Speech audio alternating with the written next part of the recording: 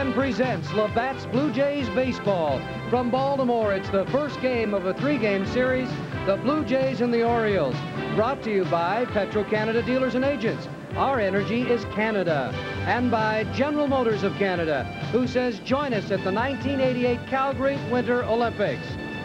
Well, the Blue Jays this year have won 9 out of 10 against the Baltimore Orioles and outscored them in the last three games in Toronto 31 to 5. But Buck Martinez, Baltimore is still a team you can't take too lightly. Well, Fergie, the only thing the Orioles can look forward to is being a spoiler. And anytime you have Eddie Murray, Cal Ripken Jr., and Fred Lynn on your club, you have some offense. So I think the Blue Jays have to have their heads up when they come in here to Memorial Stadium. Dave Stieb is back in the starting rotation tonight. He's 13 and 8 and there's a lot of excitement in that clubhouse before the game. Oh, no question about it. Stieb has pitched his way back into the rotation. Jimmy Williams said he wanted the four best starters going for him. John Cerutti has struggled a little bit, but I think that gives them another left-hander out in the bullpen that'll help. And Mike Boddicker going to the mound for the Baltimore Orioles. He's their best pitcher, and he's 10 and 9 this year. But it should be a great series. We'll be televising, of course, tonight's game and tomorrow night's right here from Baltimore. So Dave Stieb at 13 and 8 against Mike Boddicker as the Toronto Blue Jays right now must win these three games so they can go back to Toronto no worse than a half game down against Detroit.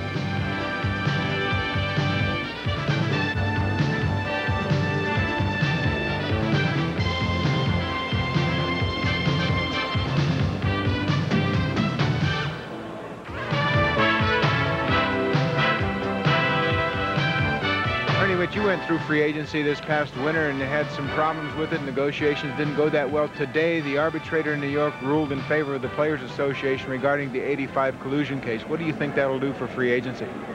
Well, hopefully it'll help it out. Uh, hopefully it'll get the owners uh, off of their cans and then try not to uh, uh, give the, the players a hard time. Uh, it, it's, it's unfortunate. I think everyone knew that that there was some type of conspiracy going on against the free agency, and uh, it, it, was an unfortunate winter, or the last two winters for the free agent market, because there just wasn't any any free agent market there. Uh, you know, that's to me, it's just part of a step uh, towards the players uh, winning a settlement. Uh, sure, they agreed that it was a you know a collusion against against the players, but now what do they do from this point? Where do they go from here? To me, that's going to be the biggest question. You're watching Labatt's Blue Jays Baseball on TSN. Right-hander Mike Boddicker with a record of 10 and 9, making his 31st start of the season. He's 0 3 against the Blue Jays this year, 5 and 7 lifetime. There's the starting lineup he'll be facing for Toronto, brought to you by Rust-Oleum, the premium paint for metal. For the Blue Jays, Liriano will be leading off. Lloyd Moseby's back in center field after a day off. George Bell in his number four spot, 128 RBIs. Rick Leach is the DH tonight. Willie Upshaw play first base and bat ninth.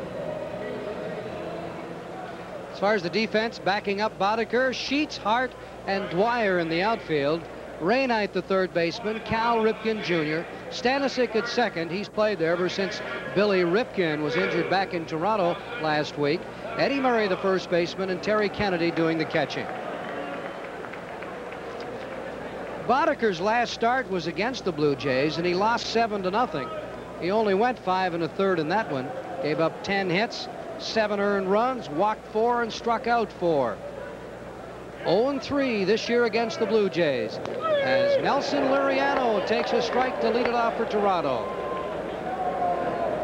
Liriano hitting 500 against the Orioles this year.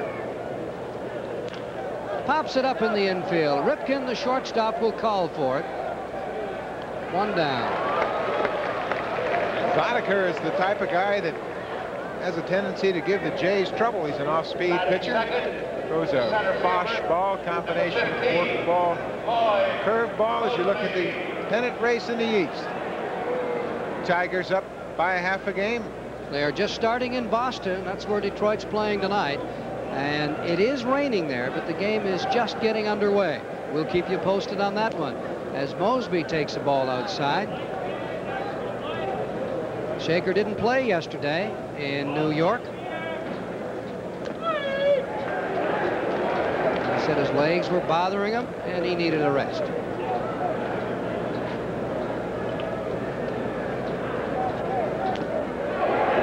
Well, that field in New York was so wet in center field. That's where they played the football game and they tore up the field. Moseby with a questionable hamstring, and Jimmy Williams opted to keep him out of that game yesterday. And Moseby goes down on strikes. Two down.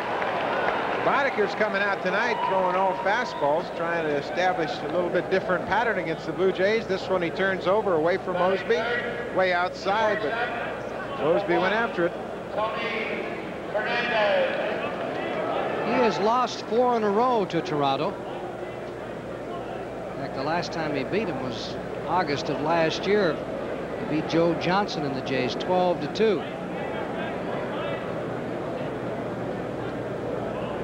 Fernandez hitting close to 500 against these Orioles. Everybody's got a pretty good average against Baltimore, seems like.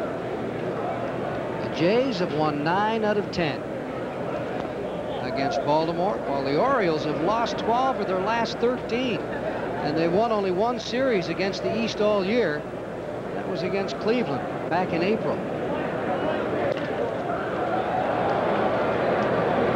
Well, the Orioles are at a point where they're going to have to turn it over. You got to let some young kids play and suffer with the young kids. There's the schedule in the American League tonight. Big game, of course, in Boston. Tigers take on Boston. Oakland at Cleveland. Chicago and California. Kansas City at Seattle. Fernandez fights that fastball off. Fouls it down the third baseline. Snell is pitching for Detroit tonight and Sellers for Boston. It's funny, the other day in, at Yankee Stadium, I was standing there when, when uh, American League President Bobby Brown came in, Marty Springstead, the head of the umpires, and they had Tony Fernandez bat with him. He gave it to me, and I took it down to the dressing room, and Tony had a big smile on his face. Tony was going to bring that bat to Baltimore and give it back to Frank Robinson, but he took it out of the box and broke it in New York. Snell was slated to start for Detroit, or for, uh, let me see now. Nipper is pitching for Boston tonight instead of Sellers. Snell is pitching for Detroit.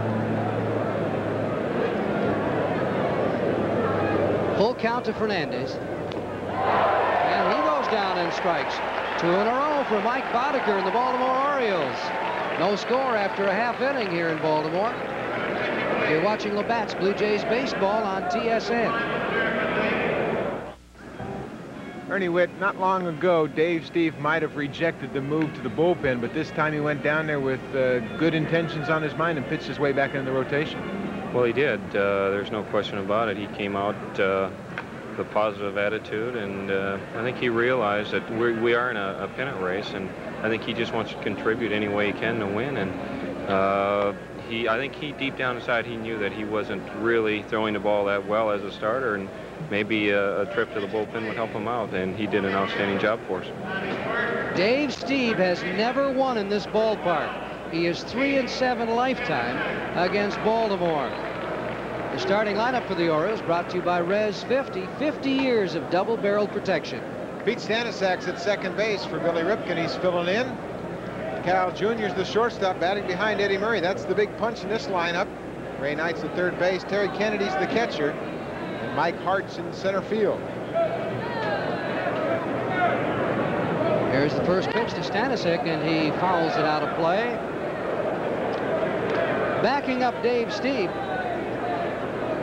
Bell, Moseby, and Barfield as usual in the outfield. Mulliniks, Fernandez, Liriano, Upshaw, and Ernie Whitt.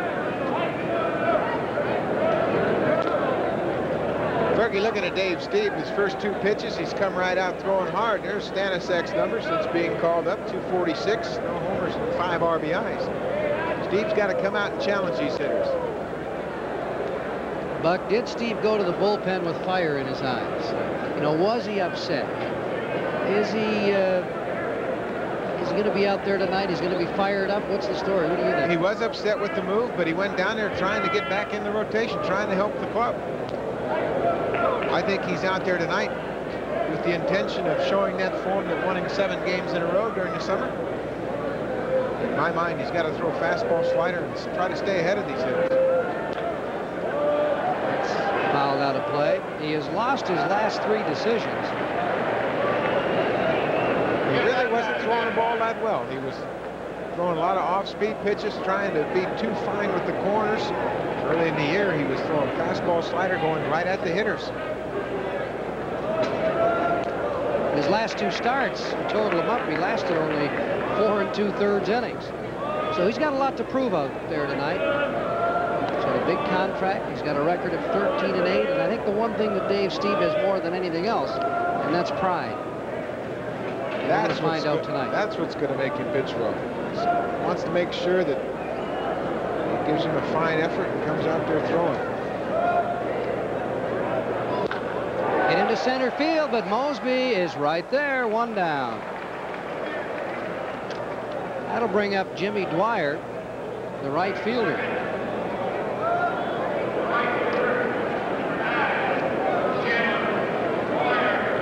Well, Dwyer's been around. He's a 37-year-old veteran who's in his 13th season. And he's got a 320 lifetime average off Dave Stieb. 14 homers. That's a career high. He's hit 321 since the All-Star break. He's a good fastball hitter. Likes the ball down and in. They'll try to make him hit off-speed pitches. Hard slider. Try to run that slider in on his hands.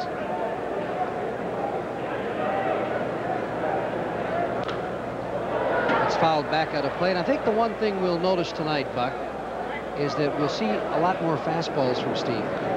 I think so, and we've talked to him. You know that there for a while he just didn't feel like he had a good fastball. Maybe it was just a mid-season blahs because his fastball didn't have the velocity that he had most of the summer. I think that little stint down in the pen might have refreshed him a bit. That's hit to left field. Bell going back to the warning track, and he's got it. Two down. The two balls that were hit pretty hard here in the first inning off Stieb. But in my mind, he's staying ahead of the hitters, going right after him. As long as they hit him, you got a chance to catch him. And that's the, that's the key, getting ahead of the hitters. It's a nice ballpark. Remember the grand slam he hit here? Of course, there's only one of them. Wasn't right down that line. 309 down the line, and your grand slammer went 310. Just enough. They all count, don't they? Don't they? Boy, there was a good fastball he threw to Fred Lynn. Lynn's been bothered by a sore quad muscle. 22 homers. He's missed 41 games, so that's not too bad a production. Fred Lynn has had an injury-filled career, but he's had some great numbers.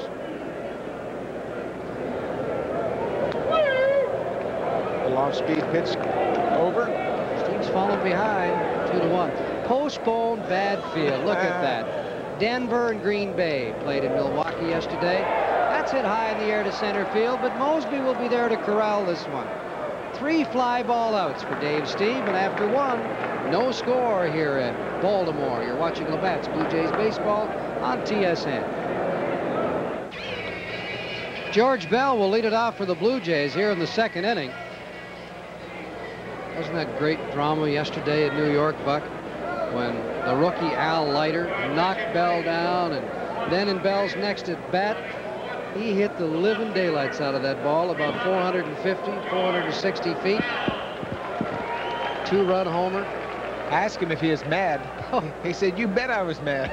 I was beside him in the dugout practically, maybe five or six feet away from him, and uh, I couldn't repeat what he was saying, but he was really fired up.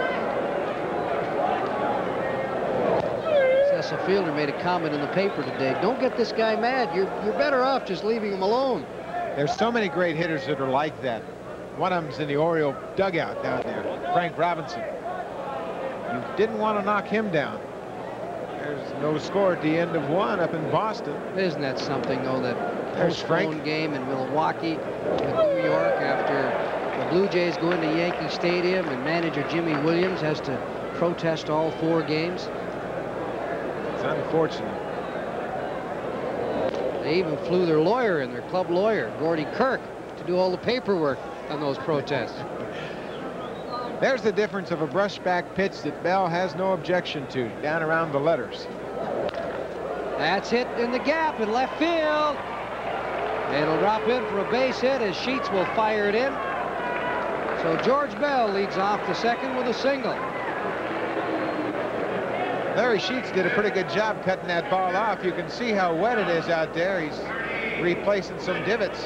Boddicker comes back with a breaking ball. Bell stays right on it and drives it into left center. This has got a chance to go for extra bases, but look at there. Larry Sheets bare hands it, keeps Bell at first base. Nice play.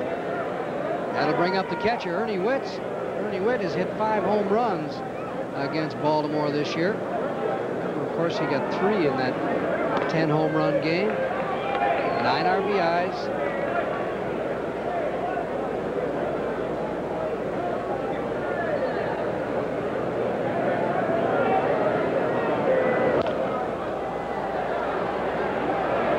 And that'll go into the stands out of play. Well, George Bell's down at first. He has five stolen bases. Very seldom do you see him run. One thing about Bell, he can steal you a base if you need one. Oh, he can get the big stolen base, no question about it. He's a pretty smart runner over there. He understands the game, when he should run, when he can run against particular pitchers and catchers. Kennedy's had a real rough time throwing people out. Good job there by Kennedy. Keeps that ball in front of him. Kennedy's only thrown out 31 runners out of 131 attempts. This program, protected by copyright, any use without permission is prohibited. Three nights of great baseball from Baltimore. And it really sets up the Detroit Blue Jay four-game series. Well, baseball fans all across the country are really getting fired up for that one. But this is the series at hand for the Blue Jays. They must win all three here. There's the Tigers sign. Howie Starkman, the PR director for the Blue Jays, said everybody, every type of media in the country's applied for credentials for that series. We have full house. Our producer, Tom McKean, tells me it's chilly up in Boston tonight. It's raining and cold. Not kind of conditions that are conducive to a good ball game. Three balls and two strikes to Whitt. There goes Bell. And Whitt fouls that one out of play into the stands.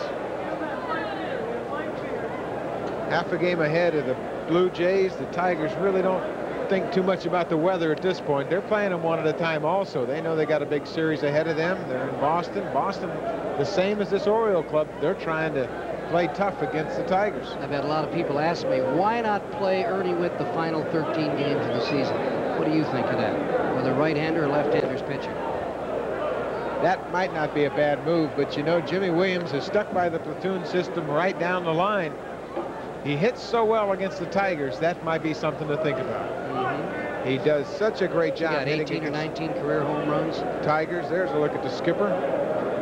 He's done a great job this month of September, bringing those kids in and out of the bullpen. David Wells, Duane Ward really pitched in in this pennant drive. I know he had a meeting with Key, Clancy, and Flanagan before the game and there was some thought maybe he might not change the rotation, but give them another day's rest. But I know that they came out of that meeting and everything's going to remain the same. I think that's a wise decision. The guys have pitched well since going to four men. It gives, especially now with Cerutti going to the pen, he has pitched so well in the swing position, pitching long, short, middle out there in the pen. I think it gives him a little more depth in that bullpen. There goes Bell. That's popped up in the infield, so Bell will go back to first. Ripken will make the play. One down. Bring up the right fielder, Jesse Barfield. Barfield's been hot lately. His last 18 games hitting around 340. Hasn't hit for power, but at least he's making contact, getting his base hits. What that does raises your confidence level. He's getting his hits. His average is creeping up to 261. As he continues to swing the bat well, getting base hits, the power will come. Hey, if he gets a few big home runs down this stretch, boy, a lot of people will forget about the rest of the summer. I'll tell you the guy that's really come up with some big base hits for the Blue Jays has been Willie Upshaw. Never mind his numbers. You almost wish now, when there's a crucial hit for this ball club, you'd like to see Willie Upshaw up there. Well, you know, he's so steady, so confident at the plate. Bat flies out of Barfield's hands. Steve Palermo, the first base umpire, will pick it up, give it to the bat boy. But talking about Upshaw, you know, it's been really an off season, although he has 15 home runs, and 58 RBIs. He has really chipped in with the clutch hits, like you mentioned, Fergie. And when he's up there, I'm sure he knows that it's his opportunity to chip in and really add some offense, and boy, he's come through in the clutch. Get two home runs in that Yankee series.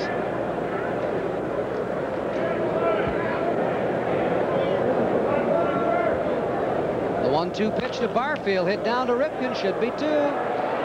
Stanicek, double played, Eddie Murray. So we head to the bottom of the second inning, still no score here at Memorial Stadium between the Blue Jays and the Orioles. You're watching Labatt's Blue Jays baseball on TSN. No score here in Baltimore. Bottom of the second inning, just one hit in the ball game. A single by George Bell.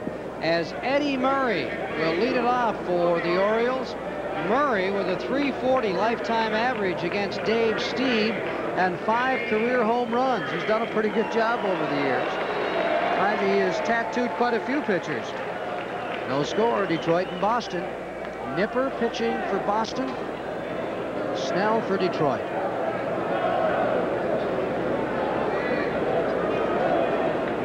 A lot of talk around Baltimore about trading this man. Slap foul down the right side. Even if you did trade Eddie Murray, he's got a contract of $2 million. What are you going to get in return? All you want is somebody to assume that contract. You might get a player or two. But then if you trade Murray, is it a quick fix for this ball club? Because they need more than a quick fix. Well, they've got to come up with some young people. There's no question. It's a long-term deal for the Orioles. You mentioned they're not going to turn it around overnight. Talking with Frank Robinson before the game, it's a matter of a couple of years. There's an upcoming series, four games, Tigers at Toronto. That slap foul. Bittner's Scarf Day is on Saturday. Sunday is Panasonic Fan Appreciation Day. I think most of the tickets are sold out. Uh, I know that there are some general admission still available for that four-game series. Two balls and two strikes to Eddie Murray. He's on a 13-game hitting streak.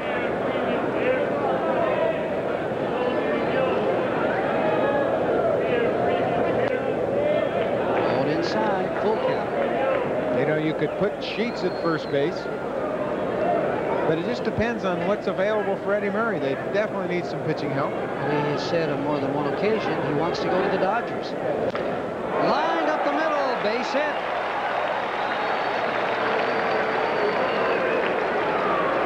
That'll bring up Cal Ripken, the shortstop. Swings a 38-ounce bat. Watch how smoothly he swings it. Line drive, one-handed, right back up the middle. He just punched that one, didn't he? He's a good player. You get him in a right frame of mind, he is down. He likes to win. He's a good competitor. He wants to be on a winning team, and things are down right now.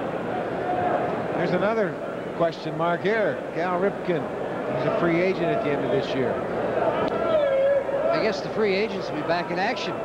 Boy, sounds of things. It's a good year for free agents. Dale Murphy of the Braves, Tim Wallach of the Expos, Cal Ripken.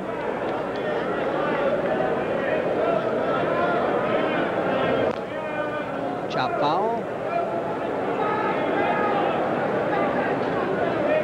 This is Mike Greenwell at the plate, takes a changeup over the fence, and Boston has a lead against Detroit. How about that one? That one way back. Greenwell's come on. He made the move. He sure hit uh, was outstanding field. against Toronto. 0-2 pitch just outside here at Baltimore to Cal Ripken. A ball and two strikes. Red Sox also a club in transition. Young players, Sam Horn, Mike Greenwell, Todd Benzinger. He had a home run off Tom Niedenfuer last night here in Baltimore. I'll tell you, our producer Tom McKee is sure on the bit. I don't know, he must have made 20 or 30 phone calls to get those highlights, to, to to see if we couldn't pass them on to the people back in Toronto and across Canada. That's terrific. So we'll have some highlights for you throughout the evening on that Detroit-Boston game.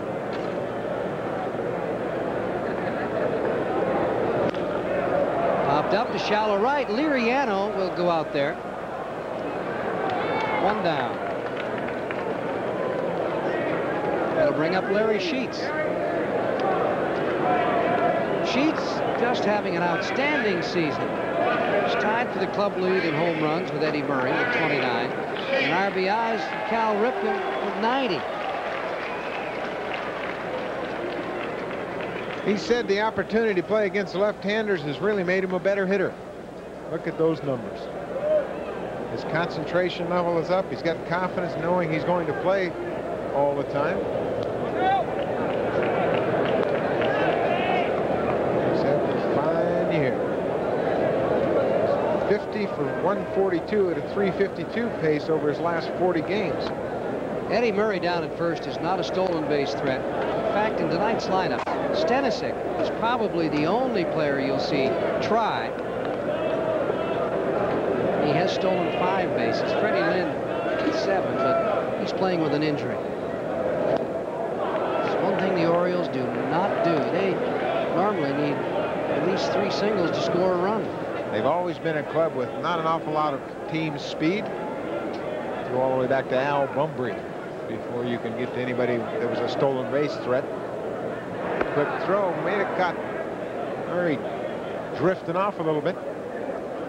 Well, he got picked off in a game yesterday as Boston played a doubleheader here and the Red Sox won both games. He got picked off a second.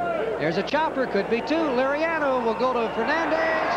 Up shot, play.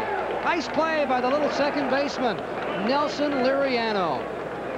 So after two innings here in Baltimore, Liriano turns and wheels a strike to Fernandez, who really unloads this ball. Look how far out of the line he had to go and throws a strike. Sheets not good speed. He's out at first. So at the end of two, there's no score in Baltimore. You're watching Labatt's Blue Jays baseball on TSN. Billy Smith and John McLaren, as usual, doing the coaching at first and third. Mike Boddicker will face Rance Mulliniks, who's having a great second half for Toronto.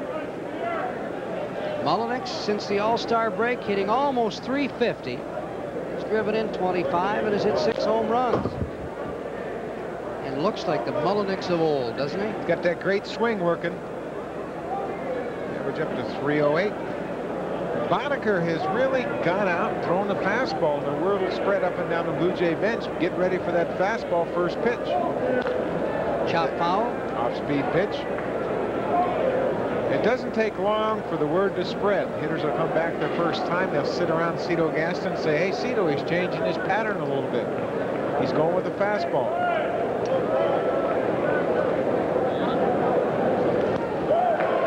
He gets Mulliniks on a breaking ball. Let's go to Boston. Benzinger at the plate. Sam Horn at first. Snell the pitcher. There's a drive to left center field. And let's see what happens. There goes Chet Lemon back to the wall. He can't get it. It's off the wall. That's definitely going to score Horn. Benzinger has a triple, so it's 2 nothing for the Boston. Look at Big Sam, Sam Horn. he's hustling. Kirk Gibson throws it back. It's 2 nothing Red Sox. Rick Leach, the hitter here. No balls and a strike to him. He fouls another one off, 0-2. You can see how late Leach was. You, you come in here and you think Boddicker, everything's going to be off speed. He, Boddicker busted Leach inside. Petry is now warming up for Detroit.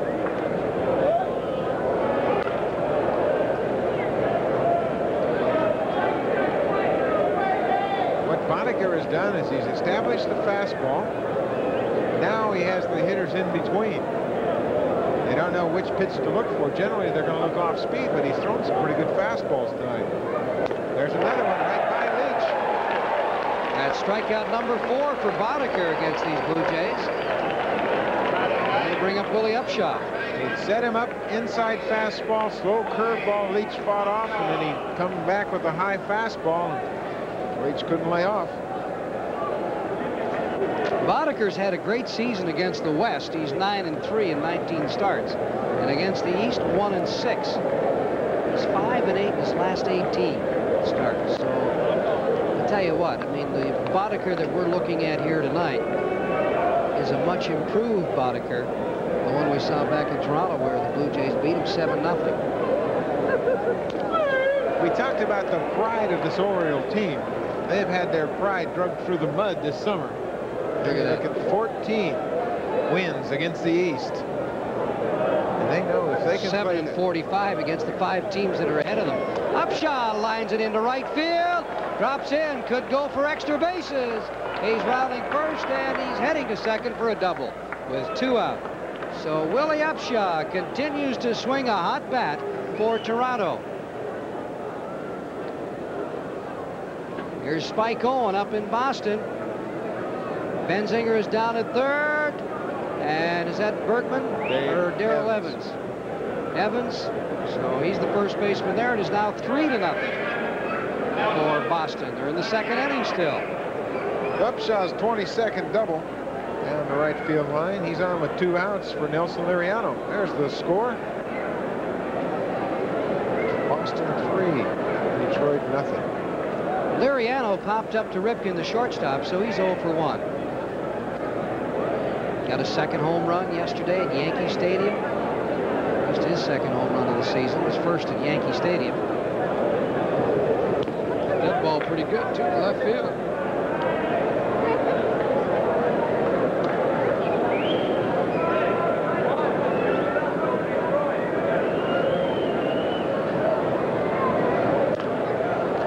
Fouled away into the stands. The Labatt's player of the game for Baltimore will receive the Canon Sure Shot Supreme, the only Cameron's class with case and five-year battery at no extra charge. Sure Shot Supreme so advanced every shot's a sure shot. As well, an amateur baseball team will be the guest of the player of the game in Cannon at a future game. So Boddicker's behind in the count to Liriano, two balls and a strike. And up in Boston, Snell is out of the game for Detroit. And I would assume that it's Petry in now. Was warming up in the bullpen. And that'll drift back in the stands as well. Out of play. Evens it up at two and two. I don't know if that's good news or not. Dan Petry has really done a pretty good job coming out of the pen. He's in there early, almost like a start. They're down by three, but we all know that the Tigers can score some runs, especially in Fenway Park. So it'll be interesting to see if the Red Sox can tack on some more against Dan Petry. Counting tonight, they've got 14 games left to play. Seven at home, seven on the road. Blue Jays 13 left. Six on the road and three, seven at home. Three here, of course, and three in Detroit. Full count to Liriano. What an exciting time of the season. Lined up the middle. And look at that catch by the center fielder, Mike Hart. Takes a base hit away from Liriano. Boy, if that didn't look like a Freddie Lynn play. He charged hard, had it made in his mind he was going to catch it. Watch the concentration, goes down, makes a fine stab, shows it to the umpire, and he saves the Orioles a run. No score here, heading to the bottom of the third. You're watching Labatt's Blue Jays baseball on TSN. Terry Crowley at first, Jimmy Williams down at third base, and it was really nice on the scoreboard here. They did a tribute to Mike Flanagan, and they said, welcome back, Mike. Played the song, You Gotta Have Heart. Really one of the most popular Orioles. They say he's really, he's great with the one-liners. Funny. Ah, I guess pitch taker. Yeah, he's a pretty good pitcher. I'm sure they'd rather have him out on the mound than telling jokes in the dugout. Yeah, I'll say. Ray Knight has really struggled the last 35 games, hitting about 175. Down to Fernandez, the shortstop. To Upshaw, one down here in the bottom of the third inning. Marzano at the plate up in Boston. Here's the first pitch from Dan Petry. Gibson is playing in left field. Let's see what happens here. Runner on in scoring position at second. Gibson charges that ball and boots it. Spike, Spike Owen. Owen will score. It is four to nothing for Boston.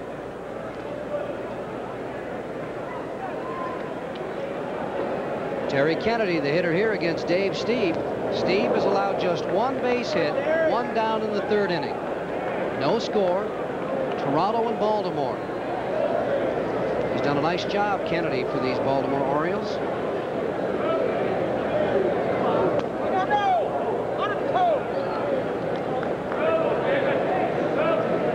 Now the second pitch from Dan Petry, Ellis Burks has doubled.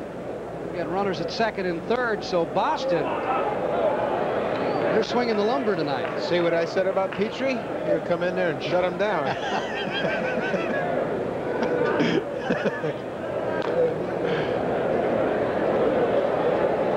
Keep, you keep making predictions like that, we're going to keep you around, Uh-huh. especially when Detroit's involved. Don't forget, I, if memory serves me correctly, Boston led 5 nothing last week, didn't they? In Detroit. So Kennedy goes down for Dave Stieb. That's his first strikeout of the ball game. Here's the good fastball we're looking for. Goes it right by Kennedy. Kennedy, pretty good fastball hitter, but Stieb's got a good one tonight. That's a good sign for the Blue Jays. Mike Hart. Oh, what a catch he made off the bat of Nelson Liriano. Saved a run with upshot second. Four home runs since being recalled from Rochester. Rochester hit 20 this year.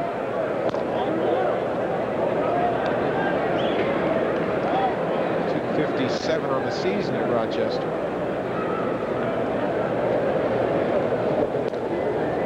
Take a look at his forearms. Looks like he's been diving a few other times for fly balls. He got scrapes and scratches all over his forearms.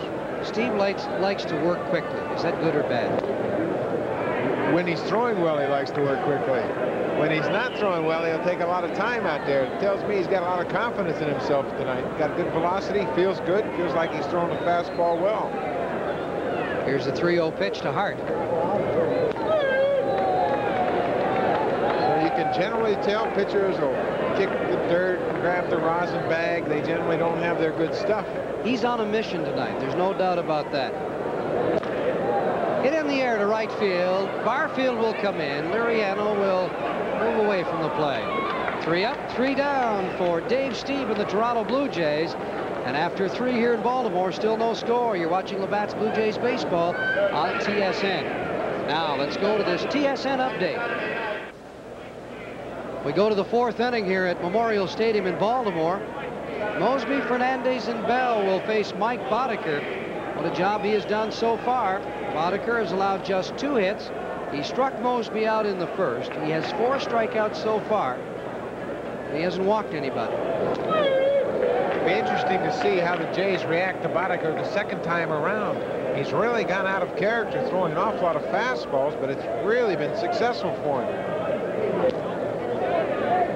Got to feel like he's going to switch back to his off-speed stuff now that he has established the fastball. He might not do that until he has a little problem with the fastball. But boy, he's going right to the fastball. Fergie notice how quick he's working too. Mhm. Get that ball in fire, and he's got a lot of confidence in his stuff tonight. Ball and two strikes to the shaker.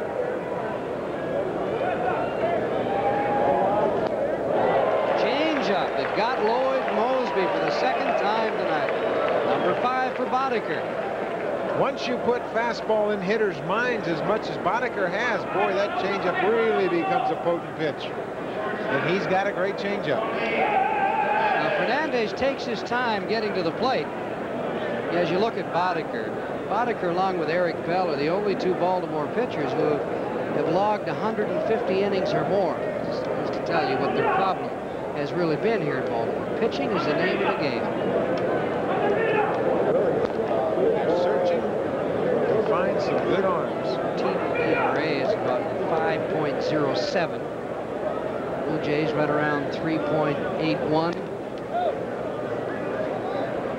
Two balls, no strikes. Hernandez, number four, triple department.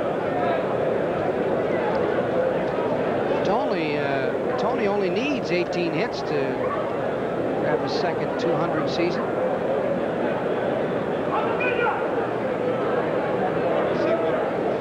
You see what uh, Mike Morgan said about Phil Bradley up there in Seattle. He said anybody can play left field and get hits when nobody's on. Phil doesn't get any clutch hits for us. Pretty heavy words for your teammate, huh? I wonder if those two went to Fifth City. the over, so Boston, they lead it four to nothing. They had the bases loaded. Greenwell at the plate, who had already homered in the inning and he flied up to center field. So it's 4 nothing Boston. Down the line, but that'll curve foul into the stands. Two balls, two strikes to Tony Fernandez. You can see that Fernandez has been late on Boddicker's fastball. You would think that Boddicker would stay with it. That he does. Now Fernandez has to go through his mind and say, do I change, look for a fastball and try to gear it up? Knowing full well that Boddicker's bread and butter over the years has been the off-speed pitch. So Boddicker's really at the controls in this at-bat. Now he can come with that off-speed pitch. Fernandez knowing that he's way behind the fastball. And he stays with that heat. Stand up there and foul him off all day long. Well, there's the pennant race, and here's the interesting figure, I think. Look at that against left-handers. The Jays are 25 and 22, but look at Detroit, 18-27. They're nine games under 500 against left-handers. I think that's the deciding thing in the entire series, because you know that the Blue Jays with their left-handers start throwing Jimmy Key at them and Mike Flanagan, and Cerutti. They've got uh, Musselman and Wells out of the bullpen. I think that's going to be the big thing in that series. They certainly have enough left-handers, something they haven't had over the years. Down to the second baseman, Stanicek. Two down. Boddicker just didn't bend from his approach to Fernandez. He went right with the fastball right to the end and got the ground ball off Fernandez's bat. This does a little bit to change your defense because Boddicker has always been an off-speed pitcher and you're going to have a tendency to play the hitters to pull. So they're going to have to play more straight up, I would think, and checking the defense. They're pretty well straight up at every position, infield and outfield. Bell's got five home runs this year off Baltimore pitching. Fouls that back out of play. Boy, you can see he was looking for that oh, first pitch fastball. Sounded good, but went the wrong direction. 46 home runs. You remember when the Oakland A's were in town, Reggie Jackson spoke with George Bell and says, hey man, go for 50 because there's only been 10 other guys in the history of baseball to hit 50 home runs in a season. Fastball was outside, one and one.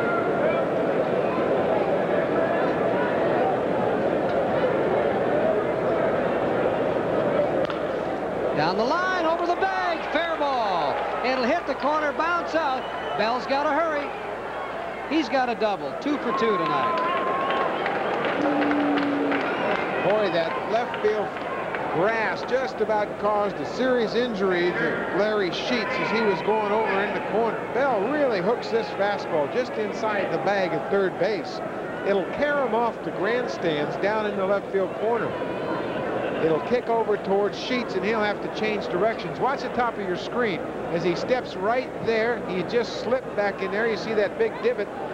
He almost turned his ankle on that wet turf. But Bell's on with a two-out double. Catcher Ernie Whitt steps in. He popped up with the shortstop Cal Ripken. No score in this game. Inside. Nice save by Kennedy.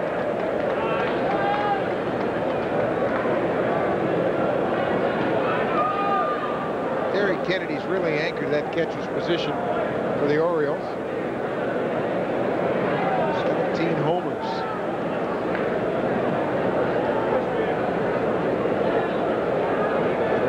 Got him by one in that department. He's got 18 on the season. And Indeed to right field. And Dwyer back to the warning track, and he's got it. Quinn hit that ball pretty good. So the Baltimore Orioles get off the hook here in the fourth inning. And the Blue Jays leave a runner stranded. No scores. You're watching Blue Jays baseball on TSN. Bottom of the fourth inning.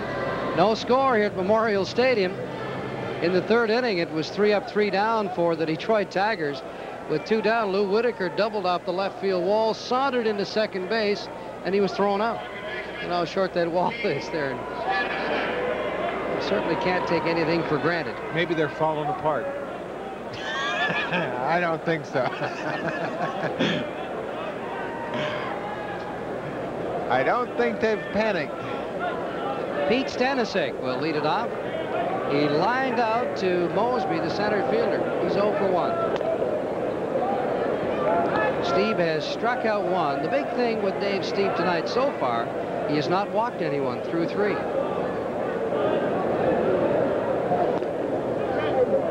Well, we mentioned we were looking for his velocity. He's got good velocity on his fastball.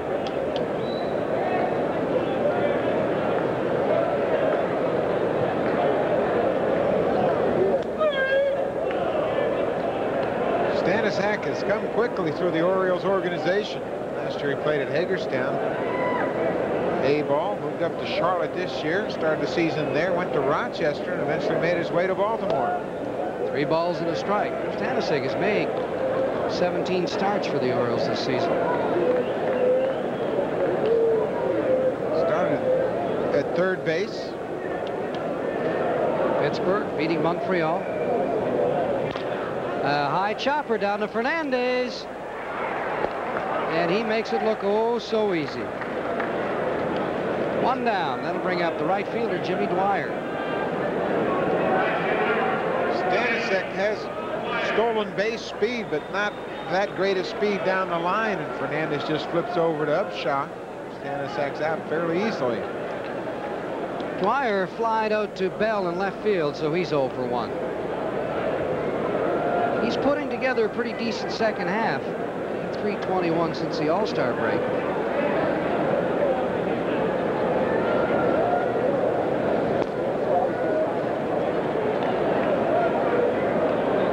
Davy Phillips behind the plate.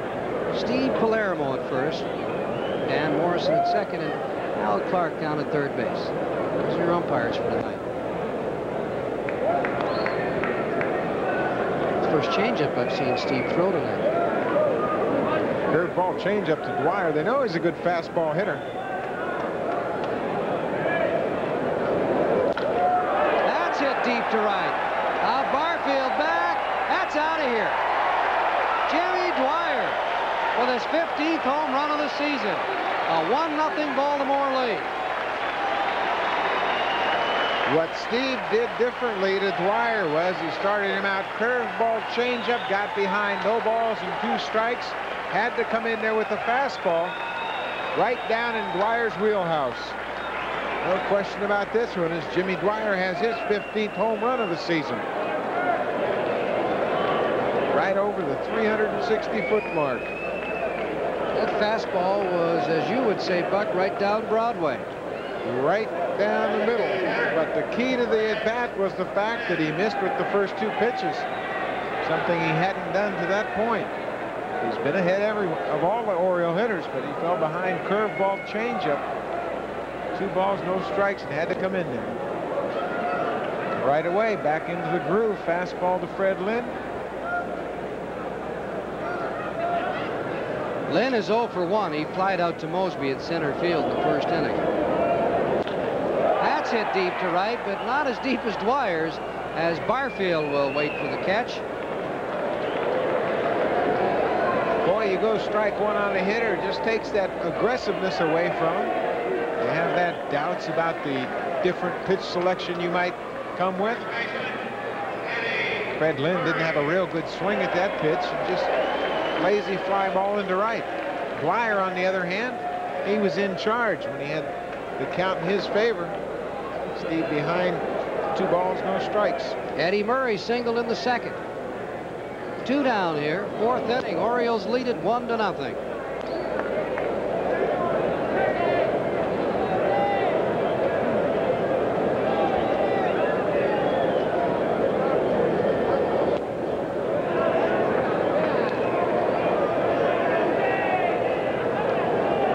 Once again, he's behind two balls, no strikes. Look at Dwyer, 10th career home run versus the Jays. Larry Sheets on the left. Fastball there. Two balls and a strike to Murray.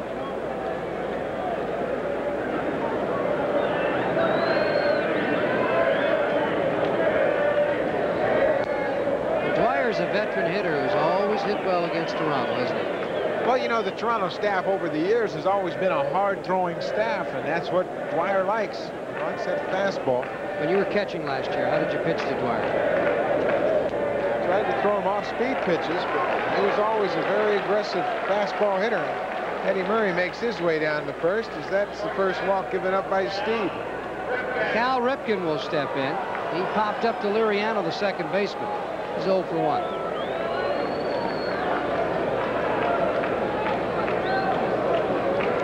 His worst major league season, hitting just 255 as Jimmy Williams looks on. The man that has made many moves.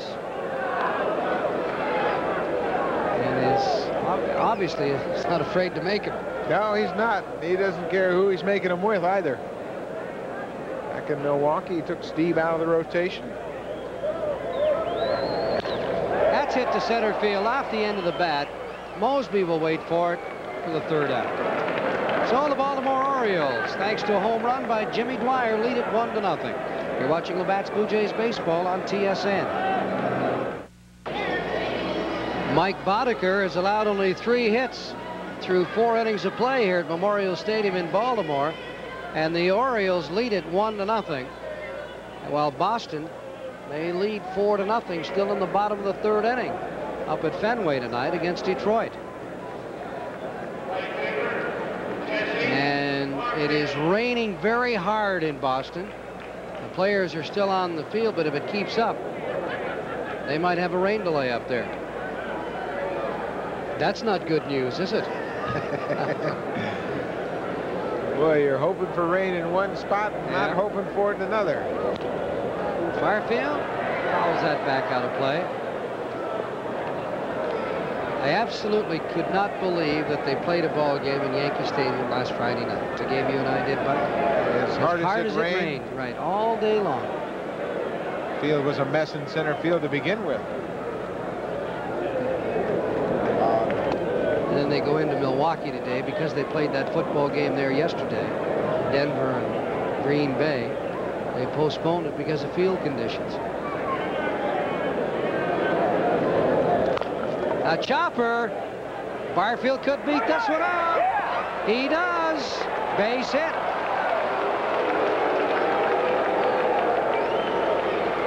Barfield continues to get base hits. He's on the base. He's not driving the ball away. You'd like to see him, but he's getting base hits. He's a base runner, and he can always come around to score. Ray Knight in quickly at third, fires across the infield, and Barfield's hustle. Gets himself a base hit. You know, that's his 12th hit in about 31 at bats. I'll guarantee you, five or six of those hits have been, uh, as you say, infield bleeders.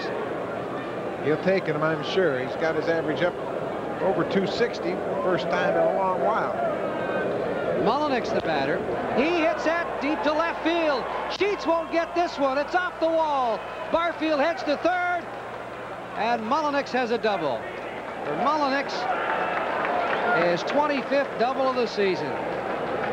Good piece of hitting by Mulliniks. What he did was he stayed with Boddicker's plan. He looked for the off-speed pitch and got it. Watch him take it the opposite direction. Hits it off the left field wall. Larry Sheets really plays this well. It's the carom, fires into second, but Mulliniks is in there with a double. Runners at second and third for the Blue Jays.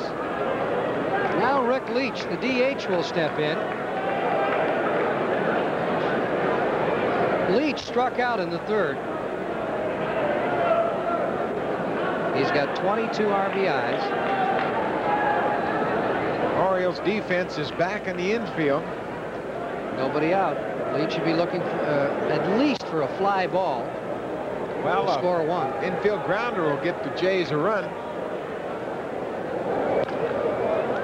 Let's put into the upper deck foul.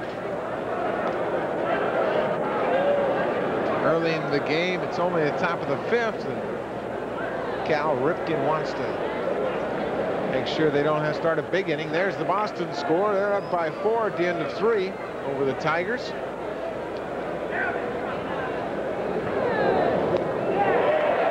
Once again, Boddicker goes to that high fastball to Rick Leach. Leach just trying to put it in play here. Got the infield back. He's been hitting close to 500 with runners in scoring position. A look at what the he can do infield. here. Stanicek deep at second, Murray deep at first. Lights that one off, puts it in the upper deck. You can see that Kennedy gave a high target to Boddicker, trying to make sure he gets that fastball up. Leach being such a good low ball hitter. Let's see where. Yeah, he's going to go out and talk it over with him right now. He's calling Ripken in. They're probably going to change signs. Mulliniks on second base. He's been there for a few pitches now. They're talking to Ripken, going to change the sign. And Ripken to go over and tell his second baseman the new set of signs they'll use. The infield is so important for infielders to know the signs so they can position themselves. If it's an off-speed pitch, Leach will pull it to the right side. Second baseman needs to know so he can get a jump on it. Laced down the line, but it is foul. The ball girl has to get out of the way. I don't think she didn't get in front of that one. Leach was looking for that high fastball that time. Should be charged with an error. There's no way you could ever charge her with an error. Change up off the handle. Oh, they get Mulliniks. Touch him, one run scores. They get a double play on the ball. Mulliniks was betwixt and between. He didn't know what to do. I tell you, Jesse Barfield almost got hung up at third also. This ball jams Rick Leach. He steps, now watch, Mulliniks is off the bag. Ripken tags him, fires on to first, but Barfield really got a late break at third base also. From this angle, watch Leach, he steps and then swings. The ball kicks off the mound. Mulliniks is in between. He doesn't know which way to go. Now he's out on the tag. Ripken fires to first for a double play. And Upshaw's the batter. He swung and missed at the first pitch. It's tied up at one now. A big break for the Baltimore Orioles. Leach actually waited on that pitch nicely, didn't he? Sort of uh, was almost like a double clutch for him. It sure was, but then he jammed himself once he went after it. Just did it right to shortstop Ripken. Rance has got to go right back to the bag on that play. Here's the 0-2 pitch to Upshaw outside. What happens on that play is Leach stepped to swing, held his bat back waiting on the slow curveball, and then put it into play, and it hung Mulliniks up there. He wasn't quite sure how well it was hit. It had him hitting flat-footed is exactly what it did. And hitting that way, you have no power whatsoever. And all you, all you can hope to do really is, is to hit a little line drive uh, through a gap.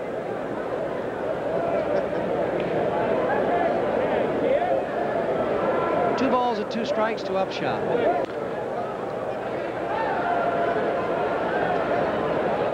Cost Rick Leach an RBI also. They got to run across to tie the game.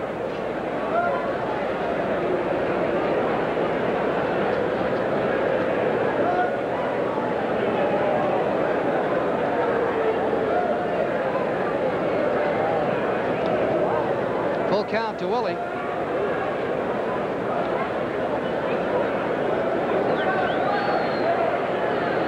The Orioles have lost 46 home games.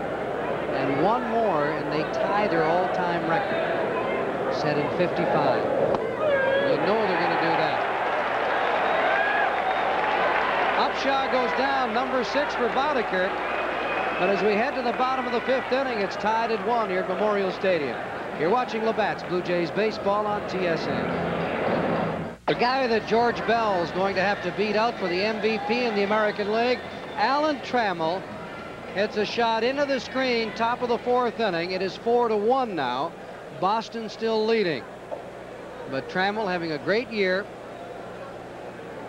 for Detroit. And of course, uh, all the talk has been George Bell or Alan Trammell for MVP.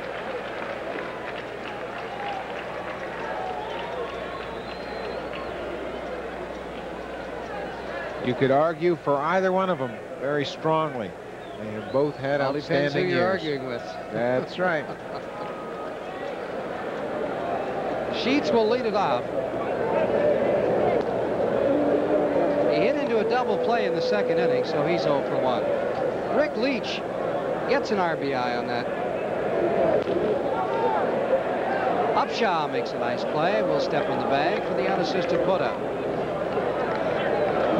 Because the double play wasn't a forced double play, your normal double play, Ripken to tag second, fire to first, that double play would not credit Rick Leach with an RBI. But since Mulliniks got hung up at shortstop, he was tagged by Ripken, fired on to first base for the double play. Rick Leach is credited with an RBI. So that was Leach's 22nd, 23rd RBI of the season. Ray Knight grounded out in the third. Takes a fastball from Stieb. Stieb gave up a home run in the fourth inning to Jimmy Dwyer with one down. He fell behind in the count. Ernie Whitt will be our guest tonight on Extra Innings.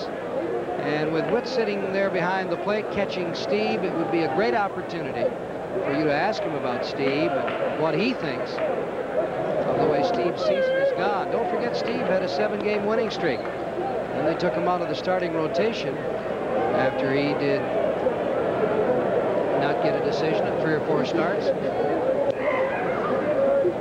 In my mind, Stieb has had a fine year. I think coming out of spring training, if they'd have been able to plan on him for 12 victories, I'm sure they'd have been pleased. Pretty good pitch right there. But he's 13 and 8 coming into this game. I think it's been a pretty good year overall. Pitched 171 innings for the team. Only given up 154 hits. That's a very good ratio. Hits to innings pitched. It's a full count now tonight.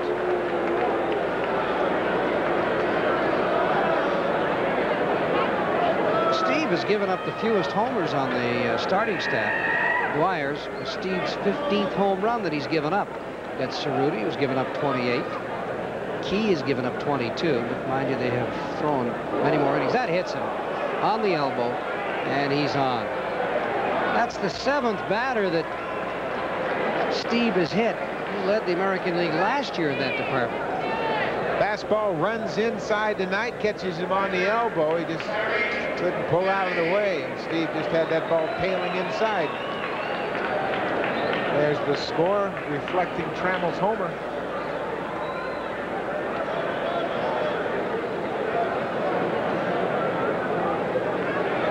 Pittsburgh-Montreal game, Pittsburgh leading 4 to 1 in the fourth. Drabek on the mound for Pittsburgh.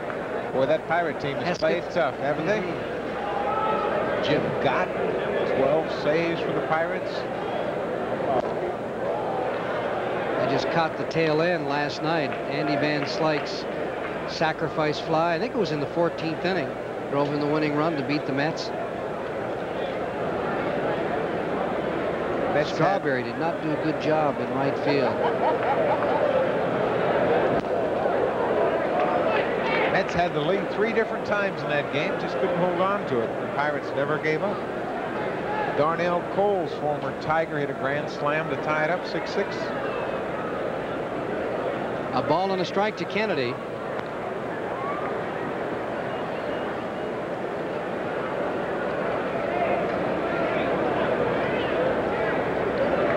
Knight does not have a stolen base this season. That's hit into center field. Moseby will take a few steps over and make the play. And Knight will hustle back to first.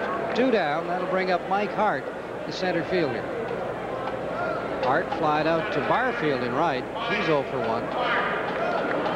Knight hasn't had a bad year. Remember the salary cut he had to take coming to Baltimore. At least he got to play. He's got some decent numbers. 59 RBIs. That's not bad production. They hit 11 home runs with the Mets last year. Finished eighth in the National League at hitting, 298.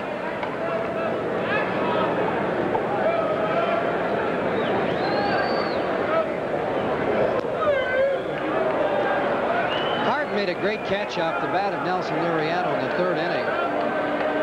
Take a hit away from Liriano with Upshaw down at second base, and he surely would have scored.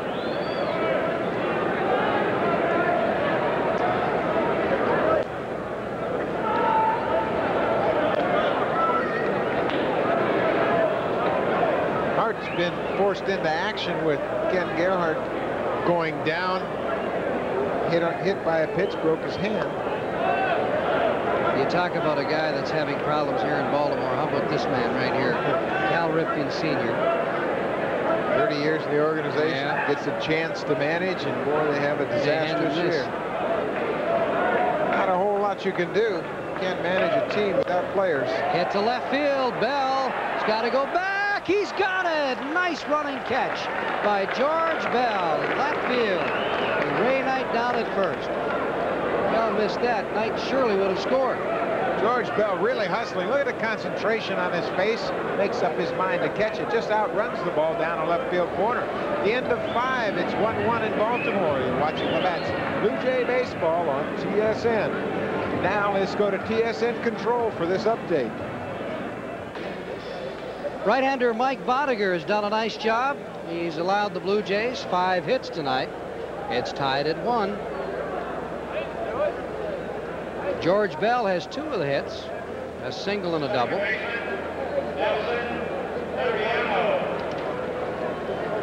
Barfield with a single, Mulliniks and Upshaw with doubles. Looked like the Jays had Boddicker on the ropes in the fifth, although they got one run in. They had runners at second and third with nobody out and could only get one run. Liriano lines it into the right field corner. It's a foul ball. Watching Liriano take a whack at that first pitch from Boddicker, Frank Robinson and I were talking before the game about the number of home runs in baseball in general. And he said, you know, the big guys aren't hitting that many more. It's guys like Liriano, the little guys that are supposed to be ping hitters. There's a look at Robinson. Who was Terry, elected to the Baseball Hall of Fame in 82. Terry Crowley next to him, but the little guys are just swinging, hitting home runs, trying to swing and hit the ball in the alleys, hit home runs. They're no longer required simply to get on base. They're up there hacking. There's another good example. Mike Sharperson has just been traded to the Los Angeles Dodgers for right-handed pitcher Juan Guzman.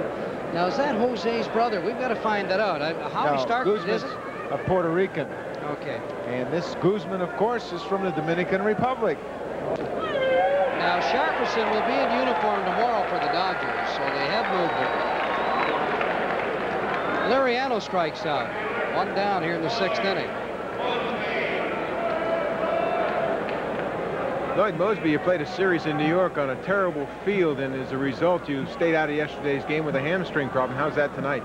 Well, it feels a lot better uh, today, Buck, but I think uh, the most important thing is that you don't want a couple days in New York to kind of reflect on the next 13 games of the season, which is going to be very important. So I just took the liberty of taking that day off, and uh, hopefully I can be a lot better for the next 13 games. Right on the nose, but Pete Stanicek takes a hit away from Moseby. Good to see Lloyd up to full speed once again. Watch this. Boddicker fastball. Moseby ready for it. Hits it right on the nose, but right at second baseman Pete Stanicek makes a nice play. So with two down, that'll bring up the shortstop, Tony Fernandez. Just another note on uh, Guzman. As we've just got word from Boston, the Red Sox have the bases loaded, and Mike Greenwell is at the plate again. Red Sox lead that one four to one. It's tied at one here. Top of the sixth inning. That's hit to straightaway center field. Mike Hart is there. So an easy inning for Mike Boddicker and the Baltimore Orioles. Three up, three down. We head to the bottom of the sixth, tied at one. You're watching Labatt's Blue Jays baseball on TSN. Bottom of the sixth inning, tied at one at Memorial Stadium. As we'll have hitting for the Baltimore Orioles, Stanicek, Dwyer, and Lynn, the top of the order. And Buck, one thing about Stieb this year, if you look at his 13 wins, he's had lots of run support. The Jays have outscored their opposition 116 to 37. It's 13 victories.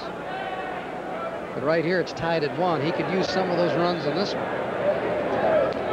Well, you know, that bodes well also for the fact that he was throwing effectively because he gave up 37 runs. Over the years, he really hasn't had that much run support, but this year it's been the opposite. Good breaking ball. Stanicek is 0 for 2 tonight, lined out in the first, grounded out in the fourth inning.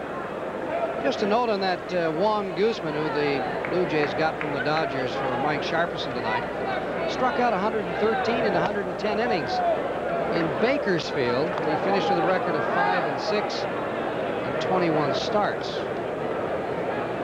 He walked 84 in 110 innings, too. Looks like he's a hard thrower. Boy, what a slider right there. Tied up Stanicek. Stieb put that slider right in on his hands. That's just the second strikeout tonight for Dave Stieb. Jim Dwyer. And Dwyer hit a home run earlier, but in Boston his passed ball and it is now five to one. At Nokes, John Marzano comes across with the fifth Boston run. Petry on the mound now. Remember what uh, Morris said about Lance Parrish and Matt Nokes.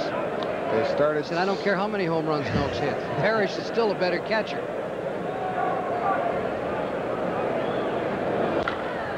Pops it up in the infield. Liriano comes in. Fernandez comes in. Two down. The Labatt's player of the game for Toronto will receive the Hitachi TA400 compact disc player. Hitachi's complete line of CDs features advanced digital audio technology and the most comprehensive three-year warranty available. Hitachi, science for the senses. As well, an amateur baseball team will be the guest of the player of the game and Hitachi at a future game. Petry is still on the mound in Boston for Detroit. With Marzano scoring and that wild pitch, 5 to one, Boston leading. It's tied at one here. Freddie Lynn, he's 0 for 2 tonight. Ground ball down to Upshaw, the first baseman. He'll make the unassisted put up. Three up, three down for Dave Stieb and the Blue Jays. You're watching Labatt's Blue Jays baseball on TSN. We have an update from Boston. Mike Greenwell has hit a sacrifice fly to score another runner. It is six to one. They're still in the bottom of the fourth inning. Boston leading Detroit tonight. Now, should Detroit lose and the Blue Jays win this one tonight, of course, the Jays will be in top spot by half a game. Petry's out of the ball game now in Boston. We'll have to wait to tell you who's coming in.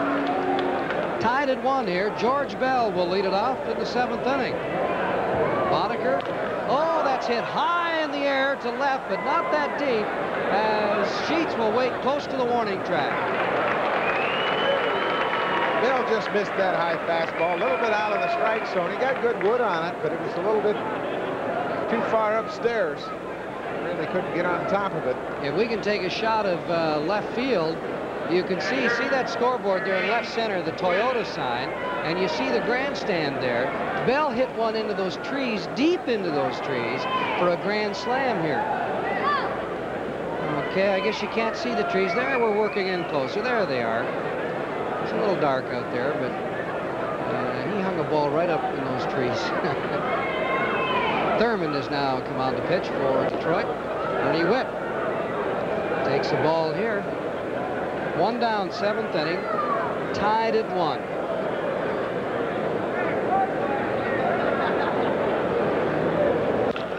That's lined into center field, and Hart will wait for it. Two down.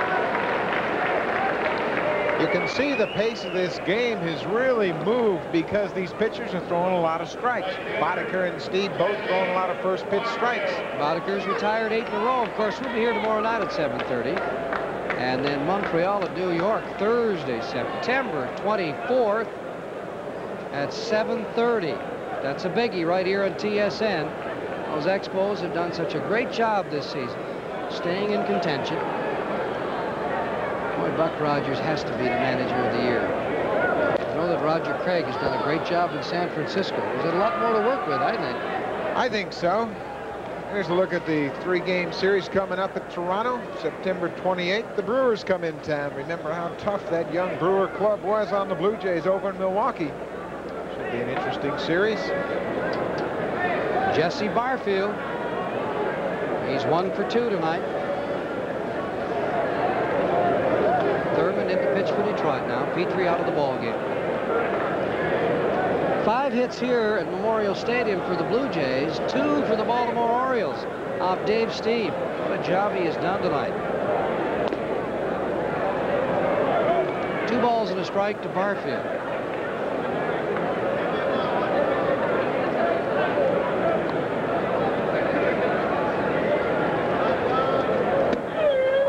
There's that good changeup that just ran back over the outside corner. Boddicker starts it on the outside, turns it over, and it drops right on the outside corner.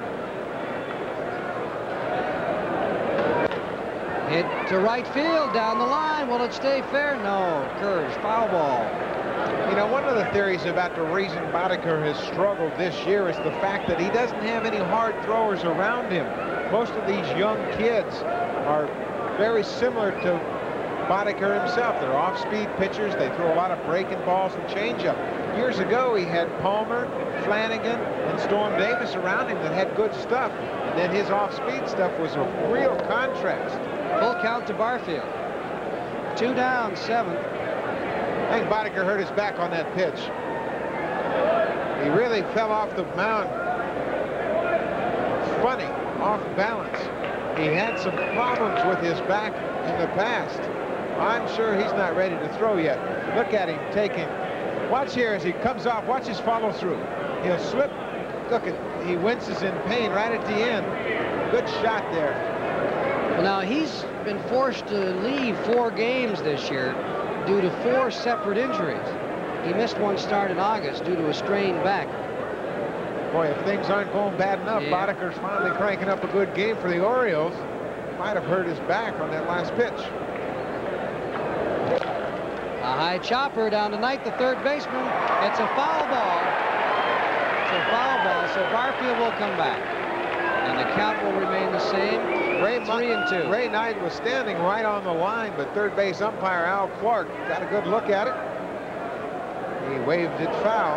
Looked pretty close to me. Watch this bounding ball down the third base line, Just watch where Knight is standing now. standing right on the line. Straddles the line. Takes the ball in foul territory.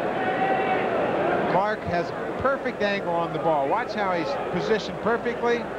That ball looked like Knight might have had some trouble with it into the lights, but Al Clark waved it foul.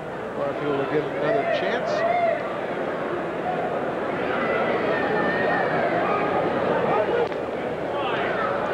Stick your catcher's glove out for that one, Buck. That's too close.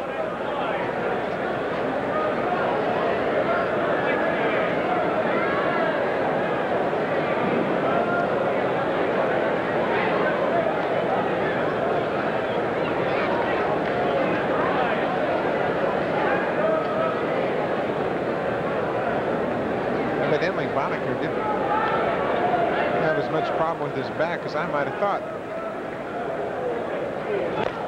Chop foul. Tomorrow night, Jeff Ballard at 2 and 6 will go against Jim Clancy. He's 14 and 10. We'll have that one for you at 7:30 right here on TSN. And Detroit will play second game of their three-game series up in Boston.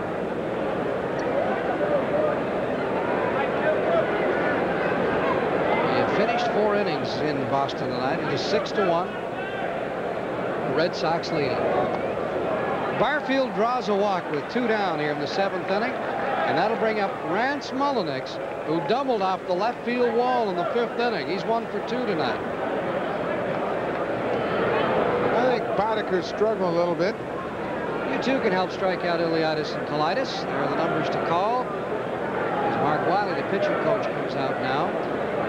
For every strikeout, Tom Henke and Mark Eichhorn register. People and many companies across Canada are donating money the cause. Over 200,000 sufferers of ileitis and colitis. Some people are paying just 50 cents a strikeout, some a dollar. And of course, companies are paying much, much more than that, but they've raised between 150 and 200,000 dollars now over the course of the year. Isn't that sensational?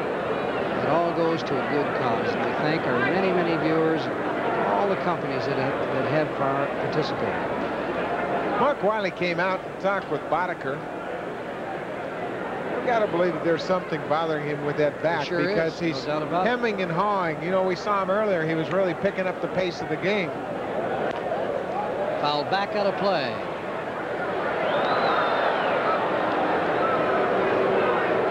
Now he's kind of taking his time.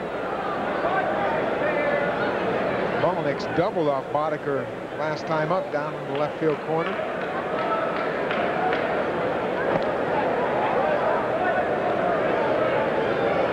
Barfield has two stolen bases, but he's been thrown out five times.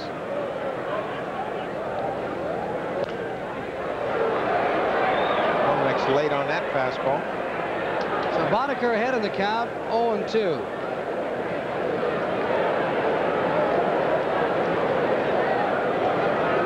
See, Boddicker still trying to loosen up that back.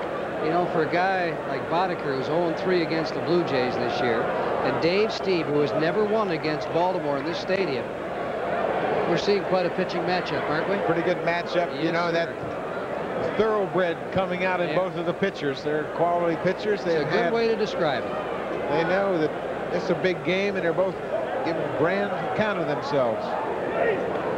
Nice save by Kennedy. Two balls and two strikes now to Mulliniks with Barfield at first, two down, seventh inning. Score tied at one. Watch Kennedy really shift quickly, catching this curveball, backhands it in the dirt. Nice play.